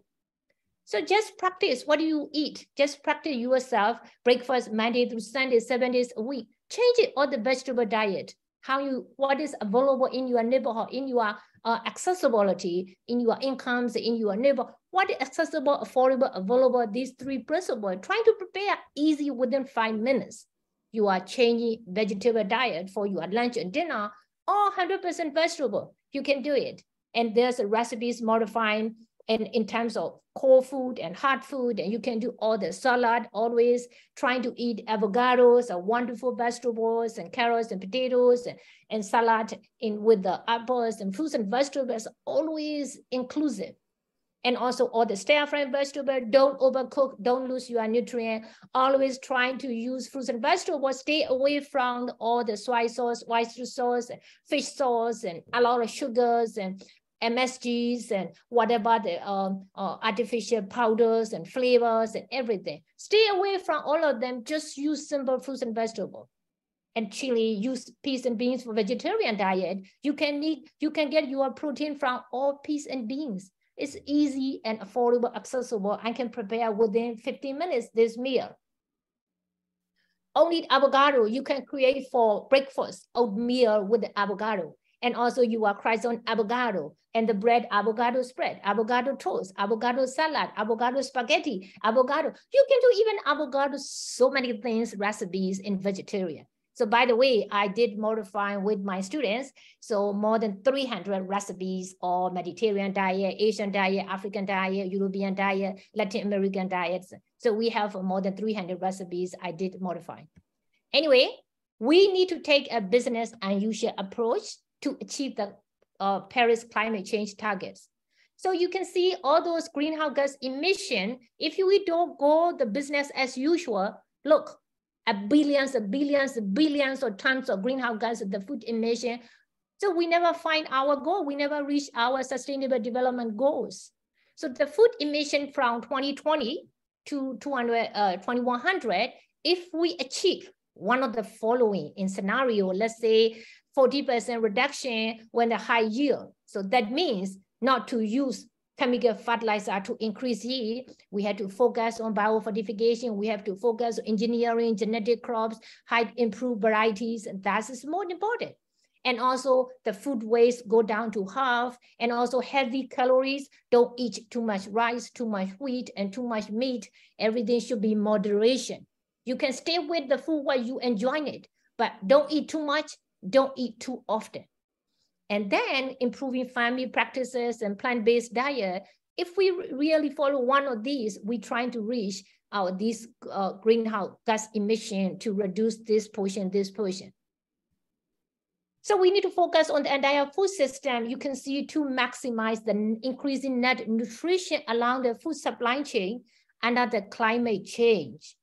So look at the entry point and exit point. So you see on the top is the, the, the, the things what we need to do it and the entry point to get nutrition maximum and also to max minimizing nutrition, we have to exit those things. Anti-plastic pollutions, keep doing that. This is very important. Uh, every single uh, uh, individual and households and community, look at your left and right, how many plastic things around you. So please think about that. And food safety, everybody food business people, education academia, consumers and policymakers. We all have a role to play, whether we grow, we process, transport, we buy or we sell, we food. We all, the food safety is in our hand. If we work together, we can all achieve our safe food and for our better health. And we, uh, on September 28, three weeks ago, so I was at the conference in the White House in the United Nations. So look, we have uh, the first ever in my age, 53, this is uh, in, within 50 years, the first ever conference hosted by the White House, ending hunger, improving nutrition and physical activity, reducing diet-related diseases. Because during the pandemic, nearly two-thirds of COVID-19 hospitalization in the US were related to obesity, diabetes, hypertension, and heart failure. That's why a national strategy for next 10-year plan that put it 8 billion US dollar committed by more than 100 different organizations to reach these goals. All the free uh, government schools get a free school meals and school can cook more from the scratch, purchase direct from the farmers. So farmers get more marketing channel and, and this is contribute rural economy. So there's a five um, uh, pillars, improving healthy food access and integrate nutrition and health. So as an initiative, food is medicine. So all the medical students now need to get more learning hours to learn about crop and food system along with nutrition and health. So you see the girl is nine, only 70 years old girl at the panel discussion and 21 years old boy from New York so he just graduated. So they are at the panel and talking about how they are champion for the sustainable food system, increasing healthy food access in the community, and also representing all the low income neighborhood and how can be you a champion leadership for the uh, secure future uh, sustainable food systems. So that is it the circle, the October 16th. So uh, last Monday, you celebrated all the multiple global challenges we all are facing. You can see name on it a lot. 193 million people experience high acute food insecurity. So two-thirds of those people are from rural farmers. And 160 million children worldwide engage in child labor. And 3.1 billion cannot afford, afford healthy diet. 30,000 people are forced to flee their home because of conflict and persecution. And so on, so on, so many things. That's the multiple global challenges. It is time to work together and create a better, more sustainable future for all of us. Nowhere is this more than true in the food system. It must deliver nutrition while we are protecting biodiversity. We must utilize and protect natural resources and must ensure both human and planetary health. Nature can no longer suffer from how we, the way how we produce, how we consume, and how we waste the food.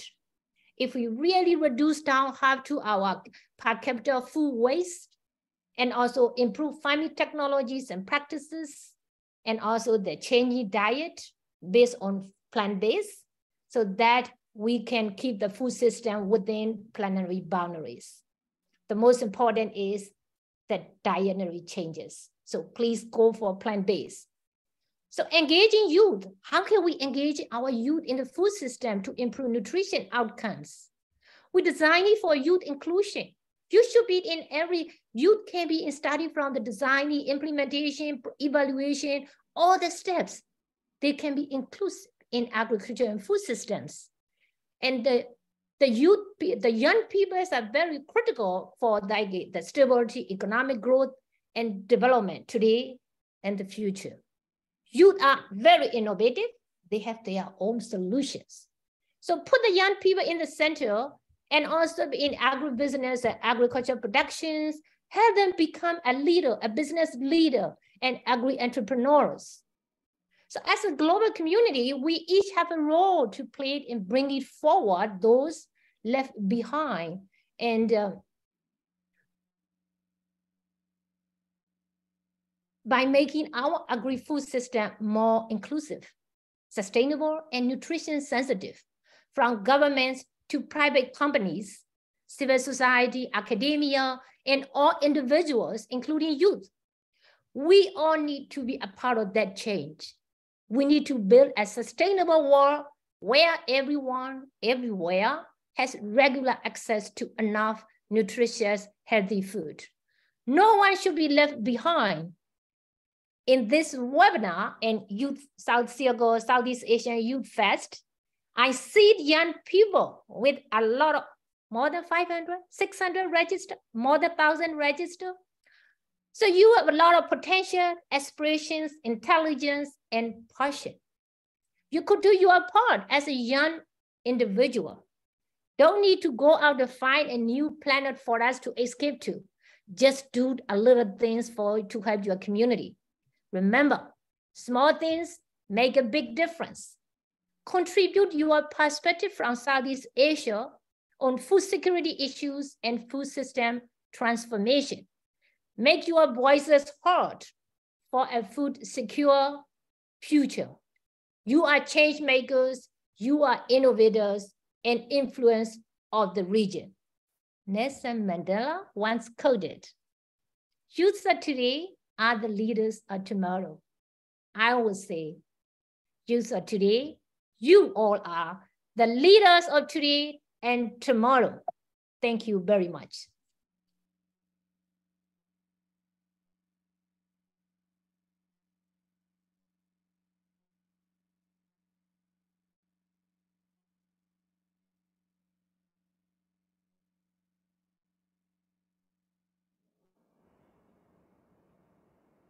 Dr. Cho, my key takeaway is food systems are indeed complex. So one of the things I caught earlier is that youth are change makers, and that is very important. Thank you, Dr. Cho, for saying that.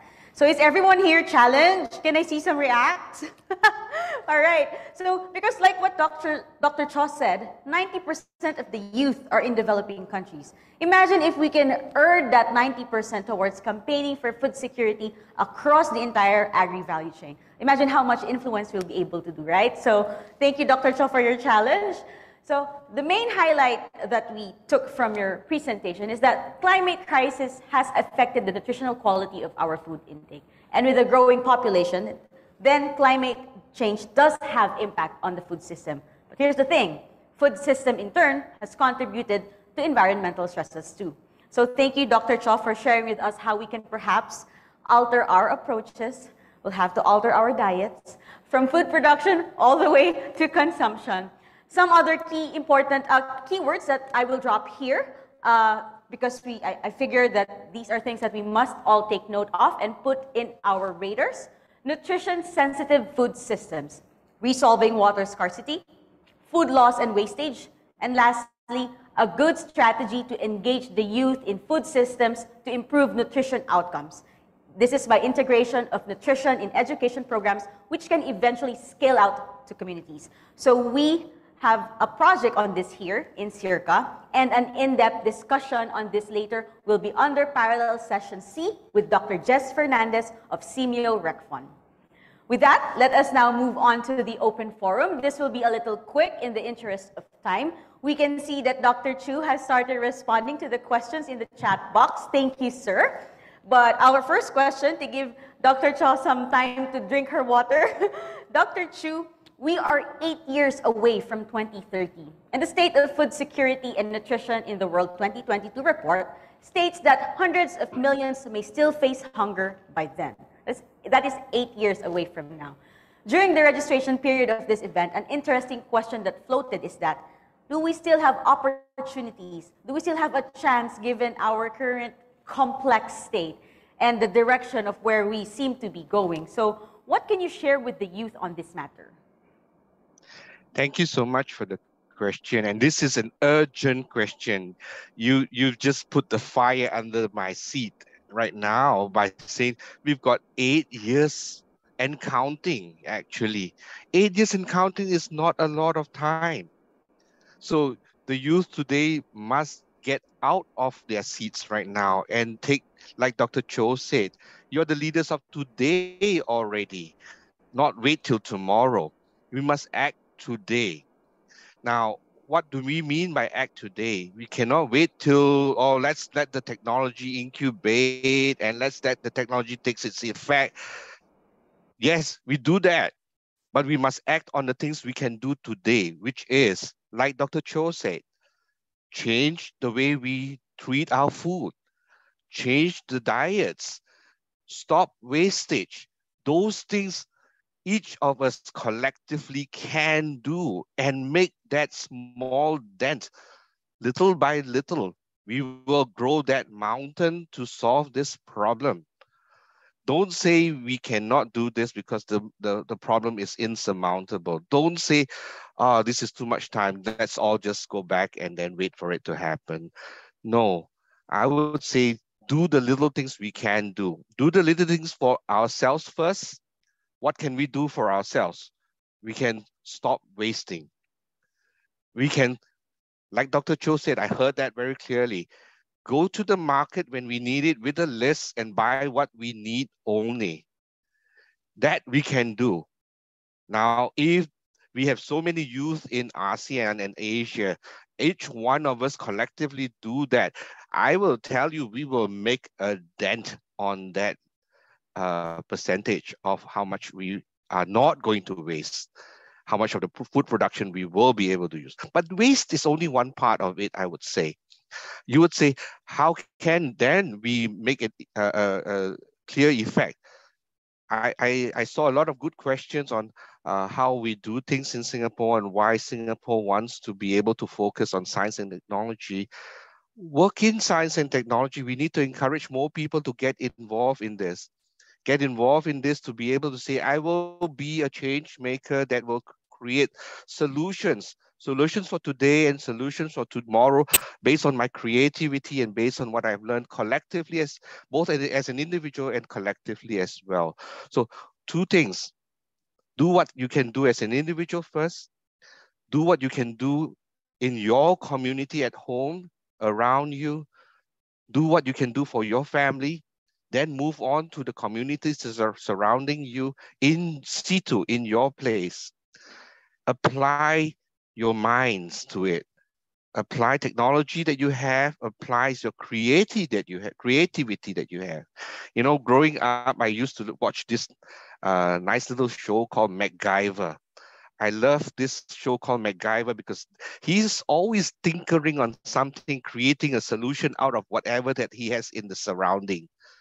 That's what we need. We need all these MacGyvers in our surrounding to be able to do this and find uh, solutions rather than just say, let's look at problems and say, these are all problems. I can't do anything. These are problems. And in Chinese, the, the word for adversity in Chinese character, if you turn it around, it becomes another word. The word for adversity, you turn around, in Chinese actually means opportunity. Let's look not at adversity as problems that we are all just going to face and do nothing about. Turn it on its head and make it opportunities for us. That is what we can do. Now, of course, I can say, let's go and do more specific things, but you know, we start with the small things first.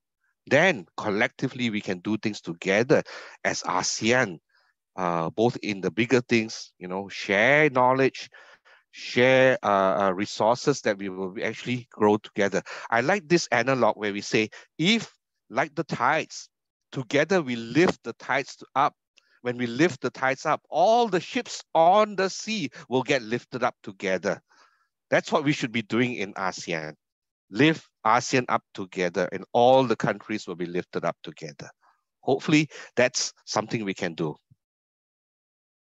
All right. Thank you, Dr. Chew. I like that. So everyone, be a MacGyver. So you don't have to, to take it too grandiose, right? This is what Dr. Chew is saying. You can just start with whatever is at your arm's length. And to collectively, we will just make that dent. So thank you, thank you, Dr. Chew, for that very good answer and for that very inspiring answer. So Dr. Cho, nutrition education is important for kids and even for adults, but it is difficult to change perceptions and influence behavior to transition into a more sustainable diet.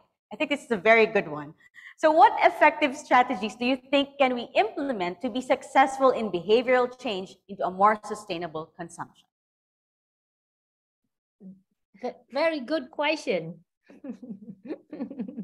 because because everybody everybody love to eat what they used to eat.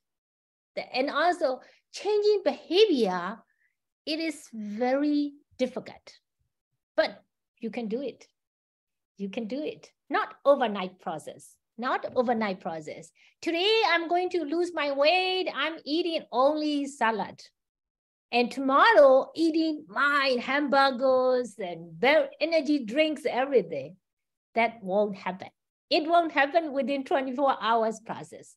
So, and even I saw a, a question in the chat box. So the problem is during the pandemic, two years down the road, and people have been encouraged, eat whatever you have, eat, eat, eat, to fight against the virus, to fight against COVID-19. One way is correct, but scientifically, so we have a lot of patients came after those who eat a lot during the pandemic, the GI and gastrointestinal, a lot of problem. The body, everybody, we have own our body. The body cannot adapt, cannot absorb all of them. Whatever you eat it, all of them. So this is the very clear and simple message. So whoever have a, a not affordable and not accessible, especially during the pandemic, every day the food cannot flow a lot of restrictions, restriction by regional, local, and in country, the food cannot flow here and there. So people looking for what available and near. So think about that. So whatever you have available, if you have only potato around you, okay, potato. But the message is don't add too much salt. Don't add sugar. Don't use a lot of oil deep fried potato. Why not baked potato? Bake a potato or boiled potato or something like that. So always a simple, simple strategy for every single food, whatever accessible and affordable. Again, you don't need to be healthy to be wealthy.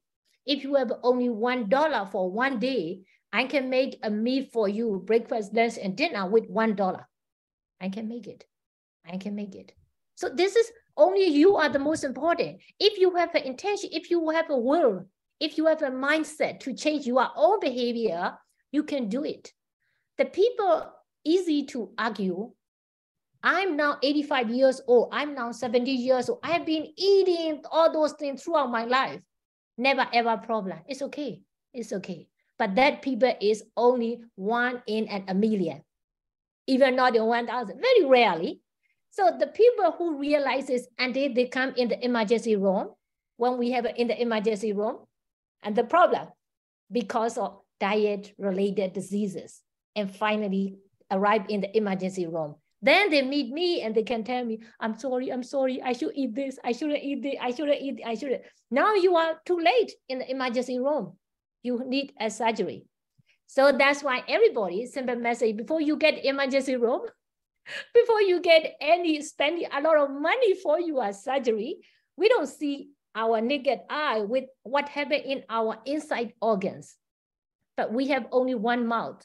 Anything, everything you put in your mouth, we don't have an extra reserved body, only one body. So you are the most important person to change your behavior or you don't want to change, it's okay.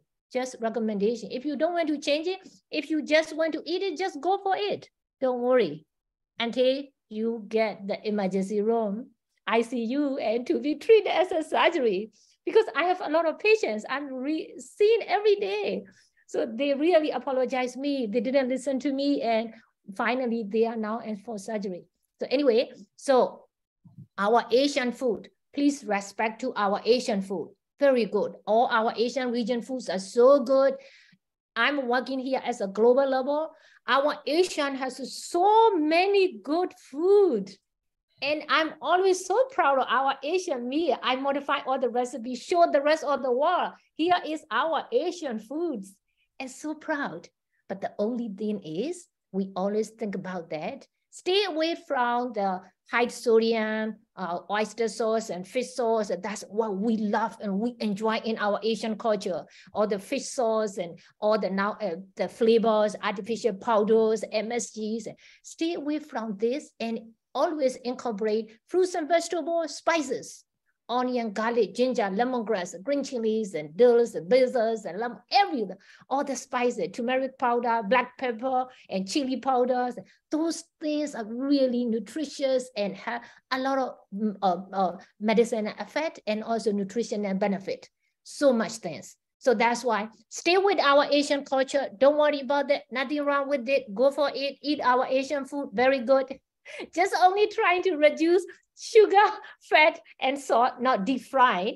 Also stick with our Asian food, but increase fruits and vegetables, seasoned nut and pulses, beans and pulses. That is because this is not fair. People who eating a lot of meat and now say, don't eat meat, meat based, plant based. This is not fair.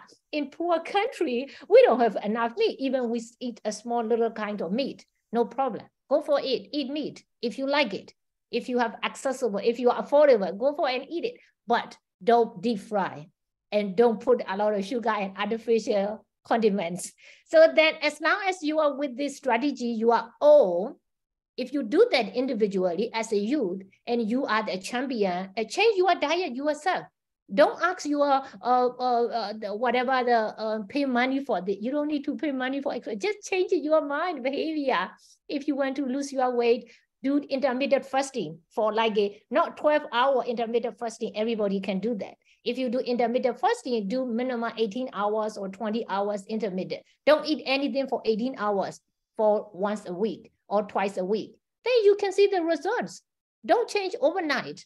So this is really amazing. So the youth you have a lot of energy, you have a lot of creativity. I know that you guys are very passionate. You have a very good uh, game change and really like a change makers. And so I'm so proud of you. Remember 30 years ago, I was like one of you, and a graduate student, 20 years old. So now within 30 years, I become a still senior teenager. I would call that. anyway, so again, I really keep my heavy eating, active living. Run every day, one hour, rain or shine. I run one hour every day. Even today, before there's not, I run it.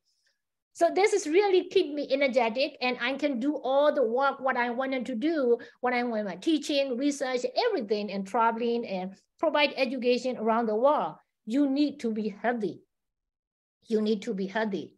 It doesn't matter how how wonderful you are, beautiful, how uh, uh, wealthy, how educated, how many PhD you have. If you are not healthy, you cannot do anything. You cannot enjoy your life. You cannot do anything. Life is nothing if you are not healthy. So that's why to be healthy, you need to practice healthy eating, active living, eat always like fruits and vegetables a lot, peas and beans, fish and seafood, and stay away from uh, saturated fat, deep fried and bakery products, and also uh, stay away from sugar and beverages, and also stay away from um, um, the uh, sodium salt. So then you all will be healthy. And you can do for Southeast Asian, the champions for Southeast Asian, and come to the United Nations for global, meeting with the global youth and uh, share your perspective and your energy and your success stories with the world. And also, I'm pretty confident our youth from Southeast Asia, you can do it. Everything is possible. You have opportunity, you can do it if you do it. Thank you. Thank you, Dr. Cho. Thank you for being such a cheerleader for the youth. So if I may just share, while you were doing your presentation, there's a huge team of young um, Circans here, and you were all like, we have to modify our diets. We have to do this, we have to do that. But if I may just say, it is true.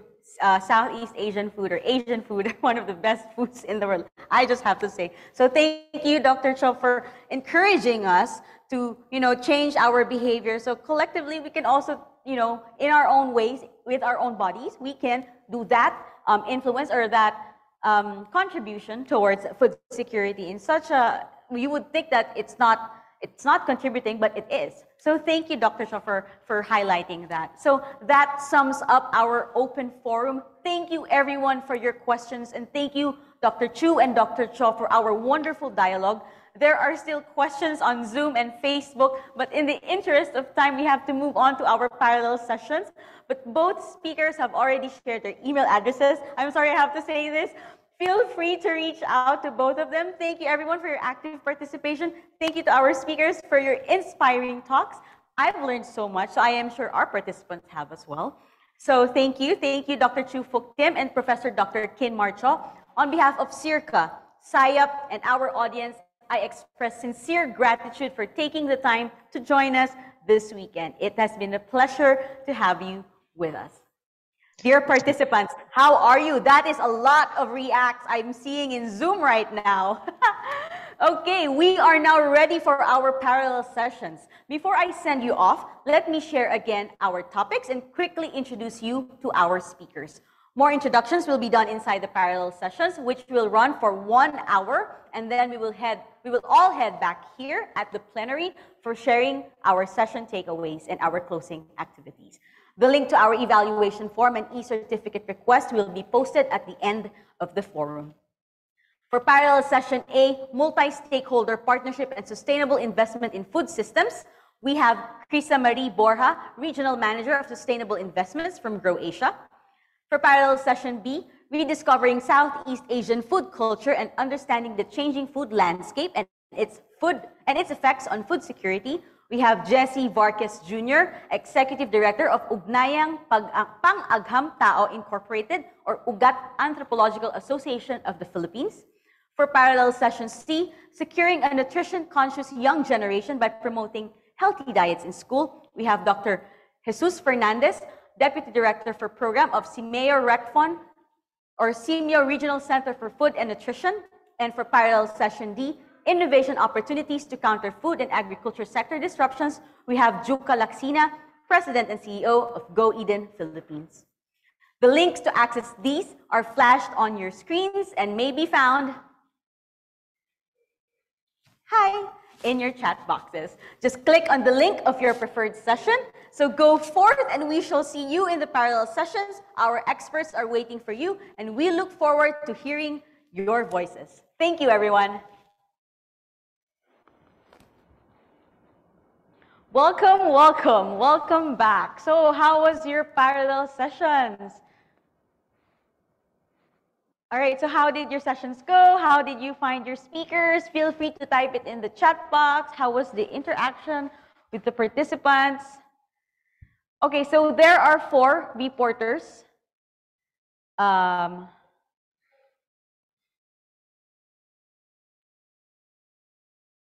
so there are four reporters So there are four reporters in the parallels, uh, from four reporters from each of the parallel sessions. Because you are brave souls who are going to report in this plenary, you have a merch.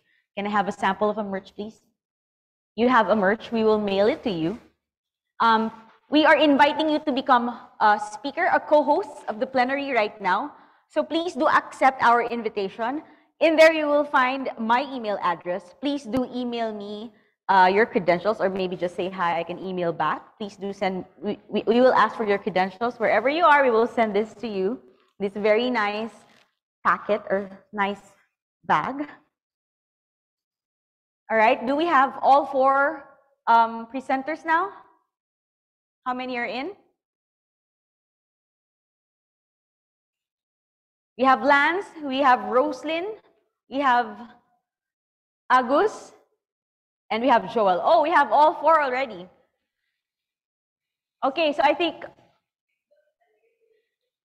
okay, I think most of you are back. We have a very, very exciting next part. So as you have been instructed in your parallel sessions, we have a sharing activity. So, and this is because we want your voices to be heard by all of us here to your wider audience. So the brave souls serving as reporters, as mentioned, will receive the SYF merch. So message us at the SEARCA Facebook Messenger um, if you want, or if you are already co-hosts of this session, you will see my email in the chat box. Please do email me your mailing address, name, address, and contact number so we know where to send your merch. So let us go from parallel session A to D. Please introduce yourself, your name, location, and the challenges and solutions that emerged in your discussions. Remember, you only have five minutes to do this, so it can be very, very quick. We know your parallel session topic already, so just say, just uh, share with us the solutions that, that emerged, uh, sorry, the challenges, common challenges that emerged,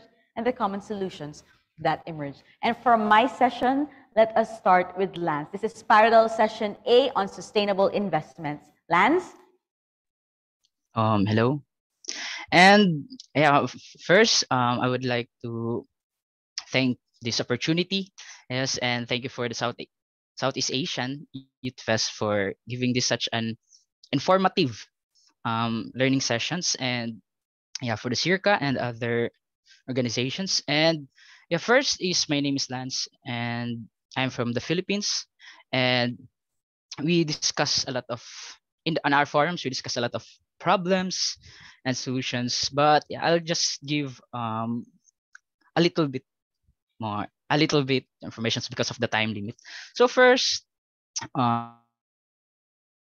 a little introduction that in our Philippines, yeah, it's um, an an agricultural country that really need to you know invest in an inclusive growth to build to build more sustainable agricultural food systems that are silent to calamities and food to climate change impact. So first, um, I'm gonna we discuss um, the lack of investments, right, on infrastructures, um, on the livelihood of the smallhold farmers because you know there are a lot.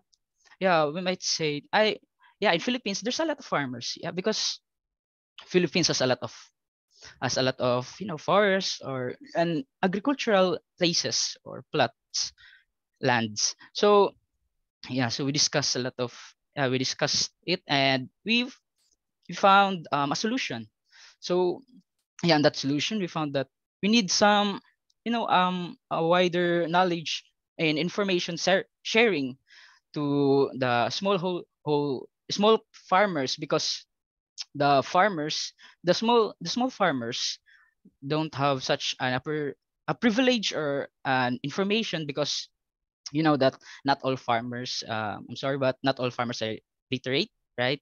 Not all farmers are that you know some farmers are they don't feel confident of because they have all they are just a small farmers and they don't have like you know they don't have the opportunity to seek seek to seek help from the agricultural organizations. So that's why we need to look after the small small hold partners. So second is the is um working together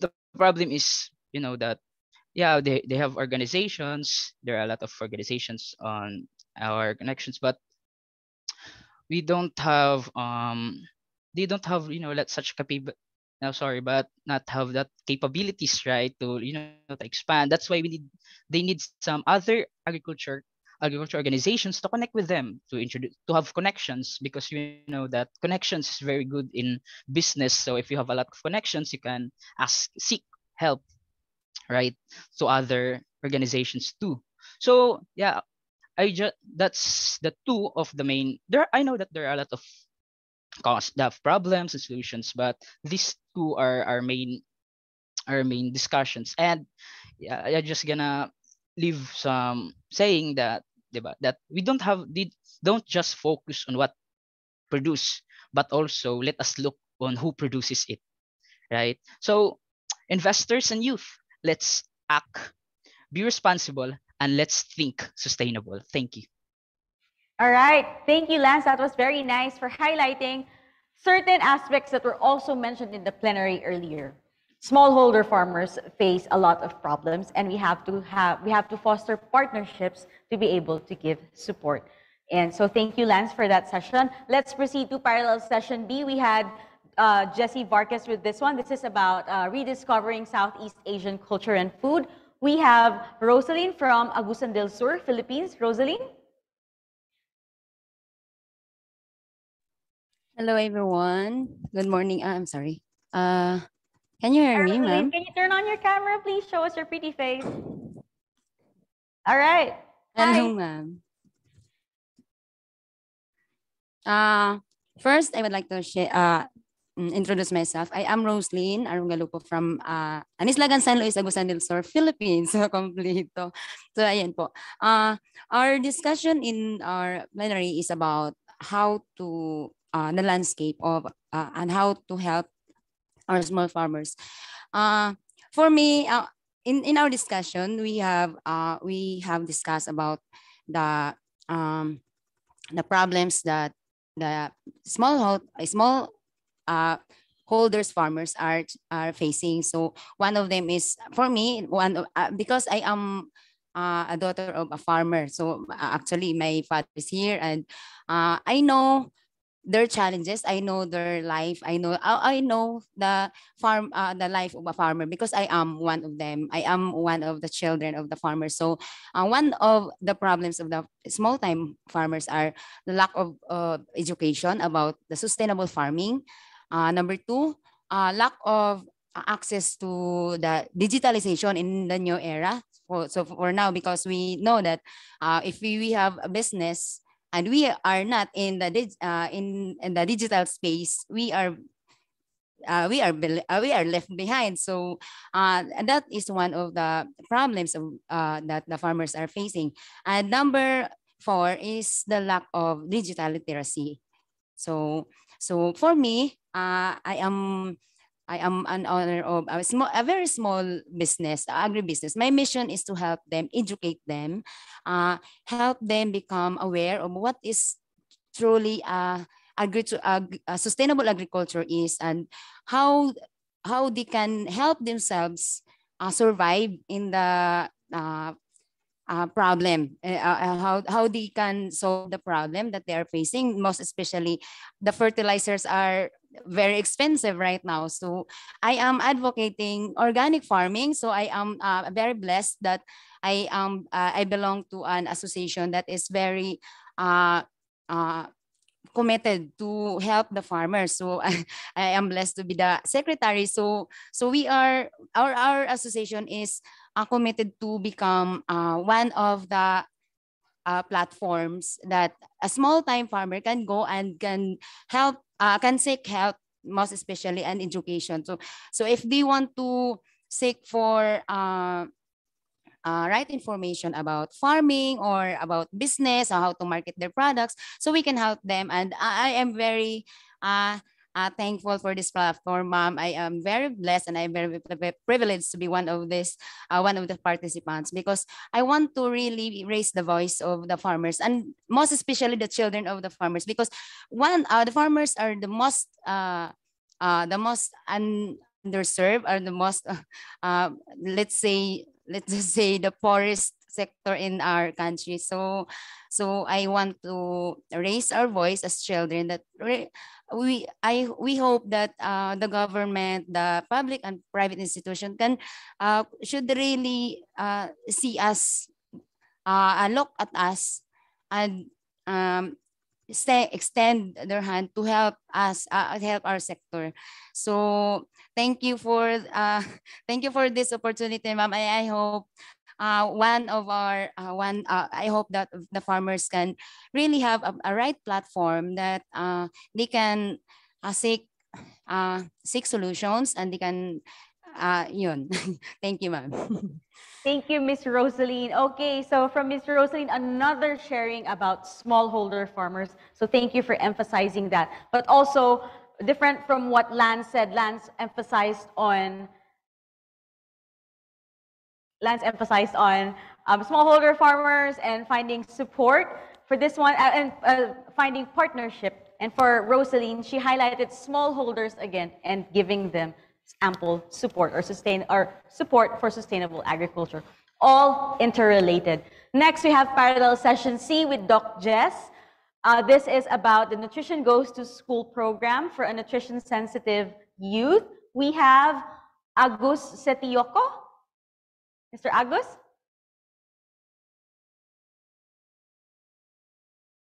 Hi, sir. Yes. Can you hear my voice? yourself, your location, and then you may proceed with your report. Okay. Thank you very much for the time given to me. I am Agus Tioko from Yogyakarta, Indonesia.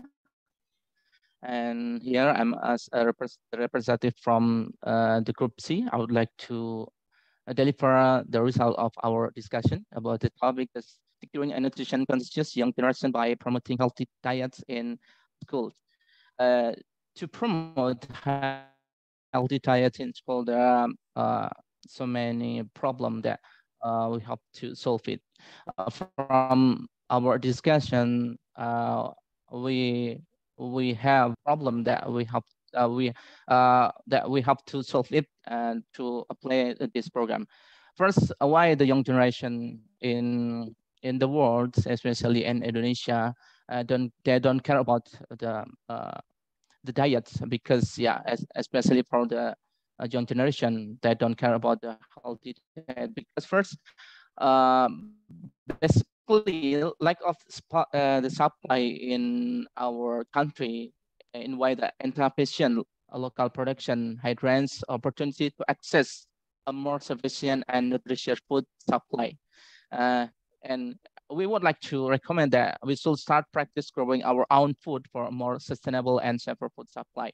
And especially, uh, we have to, uh, there's a mindset, wrong mindset from the, the parents that especially in Indonesia, uh, even for example, my parents are, are farmers, but they always say to me, don't be a farmers anymore in the future. Please move to the city and work as an industrial empower, uh, employer, uh, in industrial employee or uh, teacher or, or etc. But don't be a farmer anymore uh, like us. It's wrong mindset that we have to change it uh, as soon as possible. And second is the high cost of food, uh, especially for the rural uh, rural line or rural place.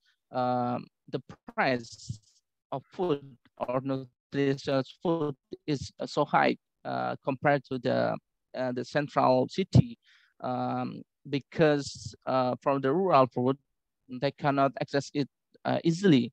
Uh, so they have to pay uh, and to pay it's more more expensive than, than to the central city. So the accessible of the nutritional food is very important to solve in the future. And the, the third is the most um, stores and vendors uh, usually sell junk food and other processed food that are very accessible to learners. Yeah. It means that uh, junk food is uh, very popular in uh, among the young generation right now, and they forget about the local food. Um, if we compare, junk food is less nutritious than the uh, local food. For, for example, in uh, Yogyakarta, uh, we we we has a popular local food. We call it as a gaplek. It's made from uh, cassava and very uh, popular in the farmers, but less popular in the young generation. And the fourth, heavily, uh, we heavily relying on pesticide, uh, make effect quality of food is lower. Uh, to uh, uh, be better to to change it into organic fertilizer to, to produce healthy food, especially for young generation. Um, we always depend on the pesticide or even import product because in young uh, in the young generation import product is um, really high bargaining position than uh, the local local community produce which affect the young children health. Uh, as, as mentioned before, uh, in our young generation, uh, we, we, we forget about the traditional food, traditional food or local food that is better high nutrition content compared to junk food. And all, and also we have uh, some solution how to increase or to promote uh, healthy diet in, in the school for the children, for the young generation is first, uh, we do education nutrition. It means that uh, we com uh, we cooperate with the uh, the government and also the um, in the school how to if, uh, educate about the nutrition food, how many uh, the kind of uh, nutrition food and uh, how to consume it well. And the second and the second step is to do school gardening. Yeah, it's to teach the young generation to love their uh, uh, local food or their uh, traditional food. For example, uh, cassava, yam, and and etc.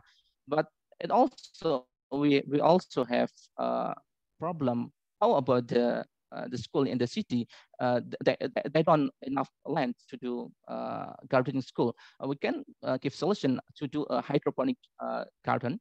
It's we don't we don't need land to to plant our our plants. And the, the third is we call it as a school canteen. Uh, school canteen can be one facility how to provide traditional and nutritional food for the young generation so they can uh, know uh, as soon as possible about their local food and they, they feel that they're proud uh, to be farmers is not uh, I mean uh, it's not uh, allow uh, to be a farmer is not only for the low economical condition job but it is it is such a luxury luxury I mean luxury jobs that we can if we success to promote uh, the mindset and also this program, I'm sure that we we sure that in the future, uh, the sufficient of uh, healthy food for the young generation will be completed, and uh, we we can we can avoid uh, malnutrition and etc. and nutrition disease in the future. I think that's enough for our uh, discussion. Thank you. All right, thank you, Agus, for that. So this session is very uh, linked, very much linked to Dr. Cho's session earlier. So thank you, Agus, for sharing how it is like for Jakarta or for Indonesia. I like that you shared how it is for the urban areas and the rural areas. So thank you for that sharing.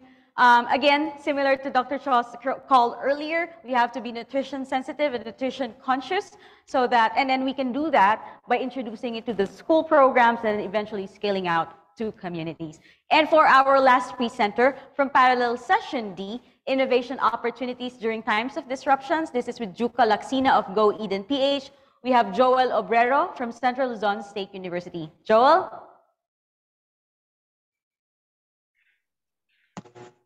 And hello, good day, everyone. Um, I hope that you're still alive, alert, and awake at this moment. All right, go ahead, Joel. Sorry, you were you're on mute, Joel. You're on mute. Okay, okay, okay. Okay po. Okay. Um, good day, everyone. So I hope that you're still alive, alert, and awake at this moment.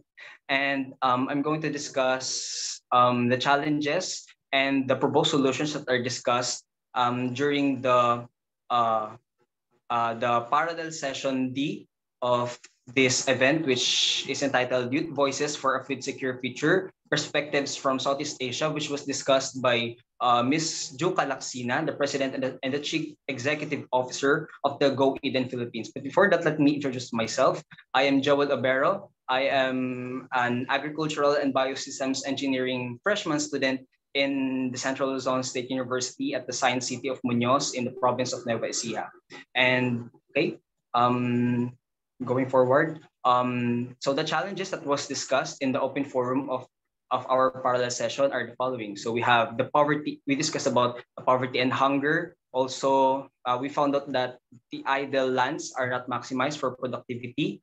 Uh, we're also lacking of government support. And in the part of the indigenous people communities, we are lacking of knowledge and education.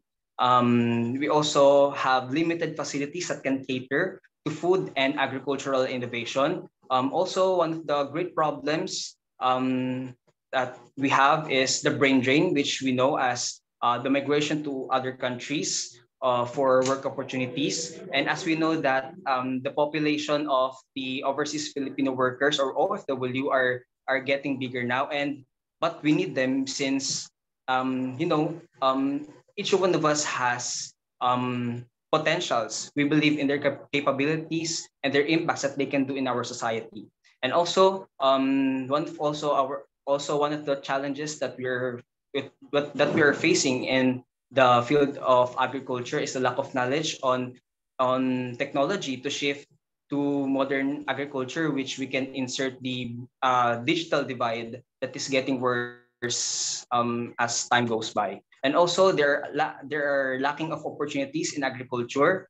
Um, and as we know, um, in reality, agriculture is one of the most neglected um, um, sectors in our society. And it is one of it, it is one of the uh, challenges that we are facing here. And also, um, politicians are focused on our on imports as part of their political strategies. And also, uh, we have limited facilities for local machineries to develop local and uh, local uh, agriculture, um, tailor-fitted to local settings or mechanization. And finally, many modern technologies are not fitted to social cultural norms. So um, we actually have um, several technologies that we use um, in agriculture, but since um, uh, farmers and um, agricultural practitioners um, think that these technologies are too complex for them to understand, so they go back to um, to, the, to the traditional um, technologies that they that they are used, and they know how to operate.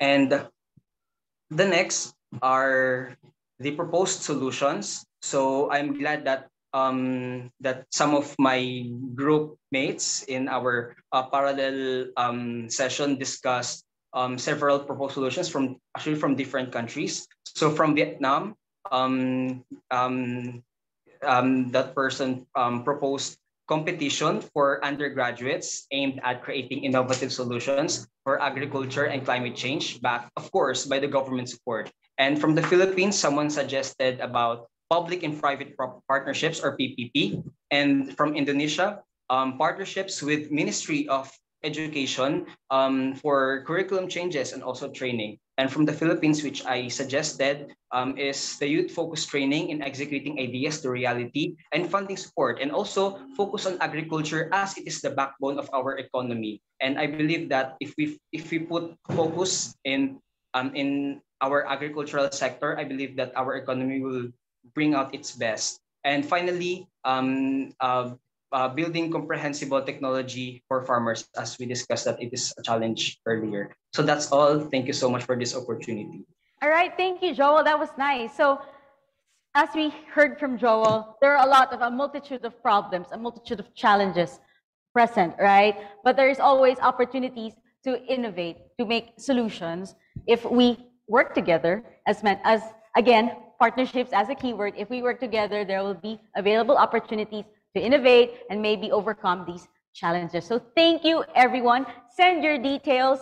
Um, sorry, for the presenters, for the reporters, kindly refer to the chat box. My email address is there. Send your details to me so we can send you your SYF merch. If you miss my email address, you can just message our SEARCA Facebook so we can contact you regarding uh, your details. So thank you to our parallel session experts, to our reporters, and to our participants. Your sessions must have been fun and exciting, as is mine, and there seems to be so much learning exchange that happened that I already do not know how to sum it up because there are just so many ideas that came about. Okay, now we would like to share something that we invite you and your friends to join and help spread the word. At the height of the COVID-19 pandemic in 2020, SEARCA, through Y4 Agri, launched the Youth Co-Video Contest to showcase young people's contribution to local food production, may it be in their homes, schools, or the community. In its third year, the video contest rebrands to Youth Stories, SEARCA Youth Video Contest, to welcome a new variety of agriculture-related themes. In its third year, the video contest rebrands to, sorry, Youth Stories aims to realize the challenges and adversities that the youth in agriculture experience or are experiencing and gather their solutions and actions. And this video contest can serve as an avenue for the youth in agriculture to speak their minds, tell their stories, and be heard. Please watch this short video to learn more about this year's themes and mechanics.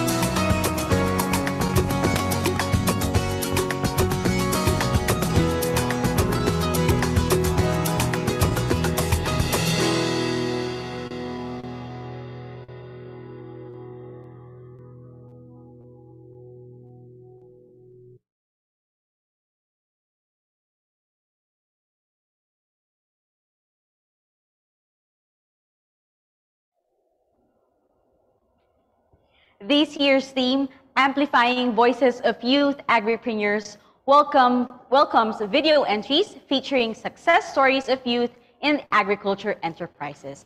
Watch out for updates on the SEARCA and Y4 Agri Facebook pages and through our website at www.searca.org. Aside from our video contest, we also have an ongoing photo contest. In its 16th year, SEARCA's annual photo contest centers on emerging agricultural innovations for the next generation. Win as much as 1,000 US dollars, and you can get the chance to be this year's best youth photographer. Sorry, photographer. Visit our Facebook pages and photo contest and website at photocontest.searca.org to learn more about the contest mechanics. Again, visit SEARCA's Facebook pages and photocontest.searca.org as you can see on your screens. SEARCA also has many opportunities in store for you. We also have scholarships for postgraduate studies, grants for research towards agricultural innovative solutions, and short-term training programs. On behalf of the Center, I invite you to visit our website at www.searca.org for more details. So what now? What's next? Multiple meaningful and inspiring discussions this morning, and where do we find ourselves now? I invite our very own colleague, our SIAP youth lead who inspires us and pushes us to maximize our potentials as leaders and change agents in agriculture and rural development, Mr. Sonny Pashona. Sonny will share with us our youth action. Thank you, Jean. We are almost at the end of this forum part of the Southeast Asian Youth Fest, and we thank you for staying with us up to this time. So earlier in the parallel sessions, we asked you to share with us your actions. What will youth do to contribute to a food secure future. So what you can see in your screen, these are just some of the highlights, some of the some of the answers that you have provided to us towards the end of that session. So um, many of you said that you will be joining the advocacy and promoting sustainable food systems. Uh, you will change the, your eating habits, making healthy choices, even reducing or avoiding food waste, and we can see responses from our young teachers here. You talk about uh, educating other people. So hopefully you will share what you have learned today to your students, uh, to your family, friends, and neighbors. Uh, some of the pledges also include promoting local food uh, by promoting it in your own backyards or even in schools. Uh, I like this one. Uh, somebody said, diversification of nutritious food that can be produced locally. So nutrition sensitive agriculture as emphasized by our keynote speaker earlier. And I can see a lot of um, advocacy work by volunteering. So yes, because we actually saw a lot of young people and youth organizations who became more active on food security efforts at the height of the pandemic. And also, since we are promoting uh, innovation, uh, we've seen some uh, as in their capacity as teachers or even as students to help facilitate tech transfer and introducing innovations and modern technologies in agriculture. So in general, we are happy to note that uh, our youth participants are able to share their action, whether small or big. Uh, earlier, Rosalind also said uh, she is representing not just her voice, but that of smallholder farmers and even ch- children of farmers. So thank you very much for highlighting that, Rosaline. And many of you also mentioned about starting small and starting at home, while others are thinking bigger, such as um, influencing governance mechanisms, lobbying for enabling policies, particularly on youth investments and training when we talk about uh, food system transformation, it seems like a very big and complex challenge. Uh, Dr. Chew Fook Tim even described it as insurmountable. But we agree with him that little steps based on what we can do can go a long way. And Dr. Khin Mar Cho, on the other hand, told us that we must start today by changing the way we treat food. Our little actions as young people, when combined, can create a dent to the food system. And so, from your own words and your own voices, youth will act first on what you can control or within the circles of your influence to help contribute to a food secure future. We do not need to think far or high level right away because on a personal level and within your community and even workplaces, we can appreciate the little actions that we can do, such as making that conscious effort to be aware about our food system, particularly in promoting sustainable diets. The fact that you are here with us today means that you are interested to educate yourself and hopefully not just for the e-certificates, but really to understand how our food system works, the current situation, and the actionable solutions that youth can implement. So now allow me to formally close this event on behalf of SEARCA, led by our director, Dr. Glenn Gregorio. We thank our keynote speakers, the parallel session experts for covering culture, innovation, curriculum, and even investments as part of our food system work. And thank you as well for the ideas on how our participants can apply solutions to their own context.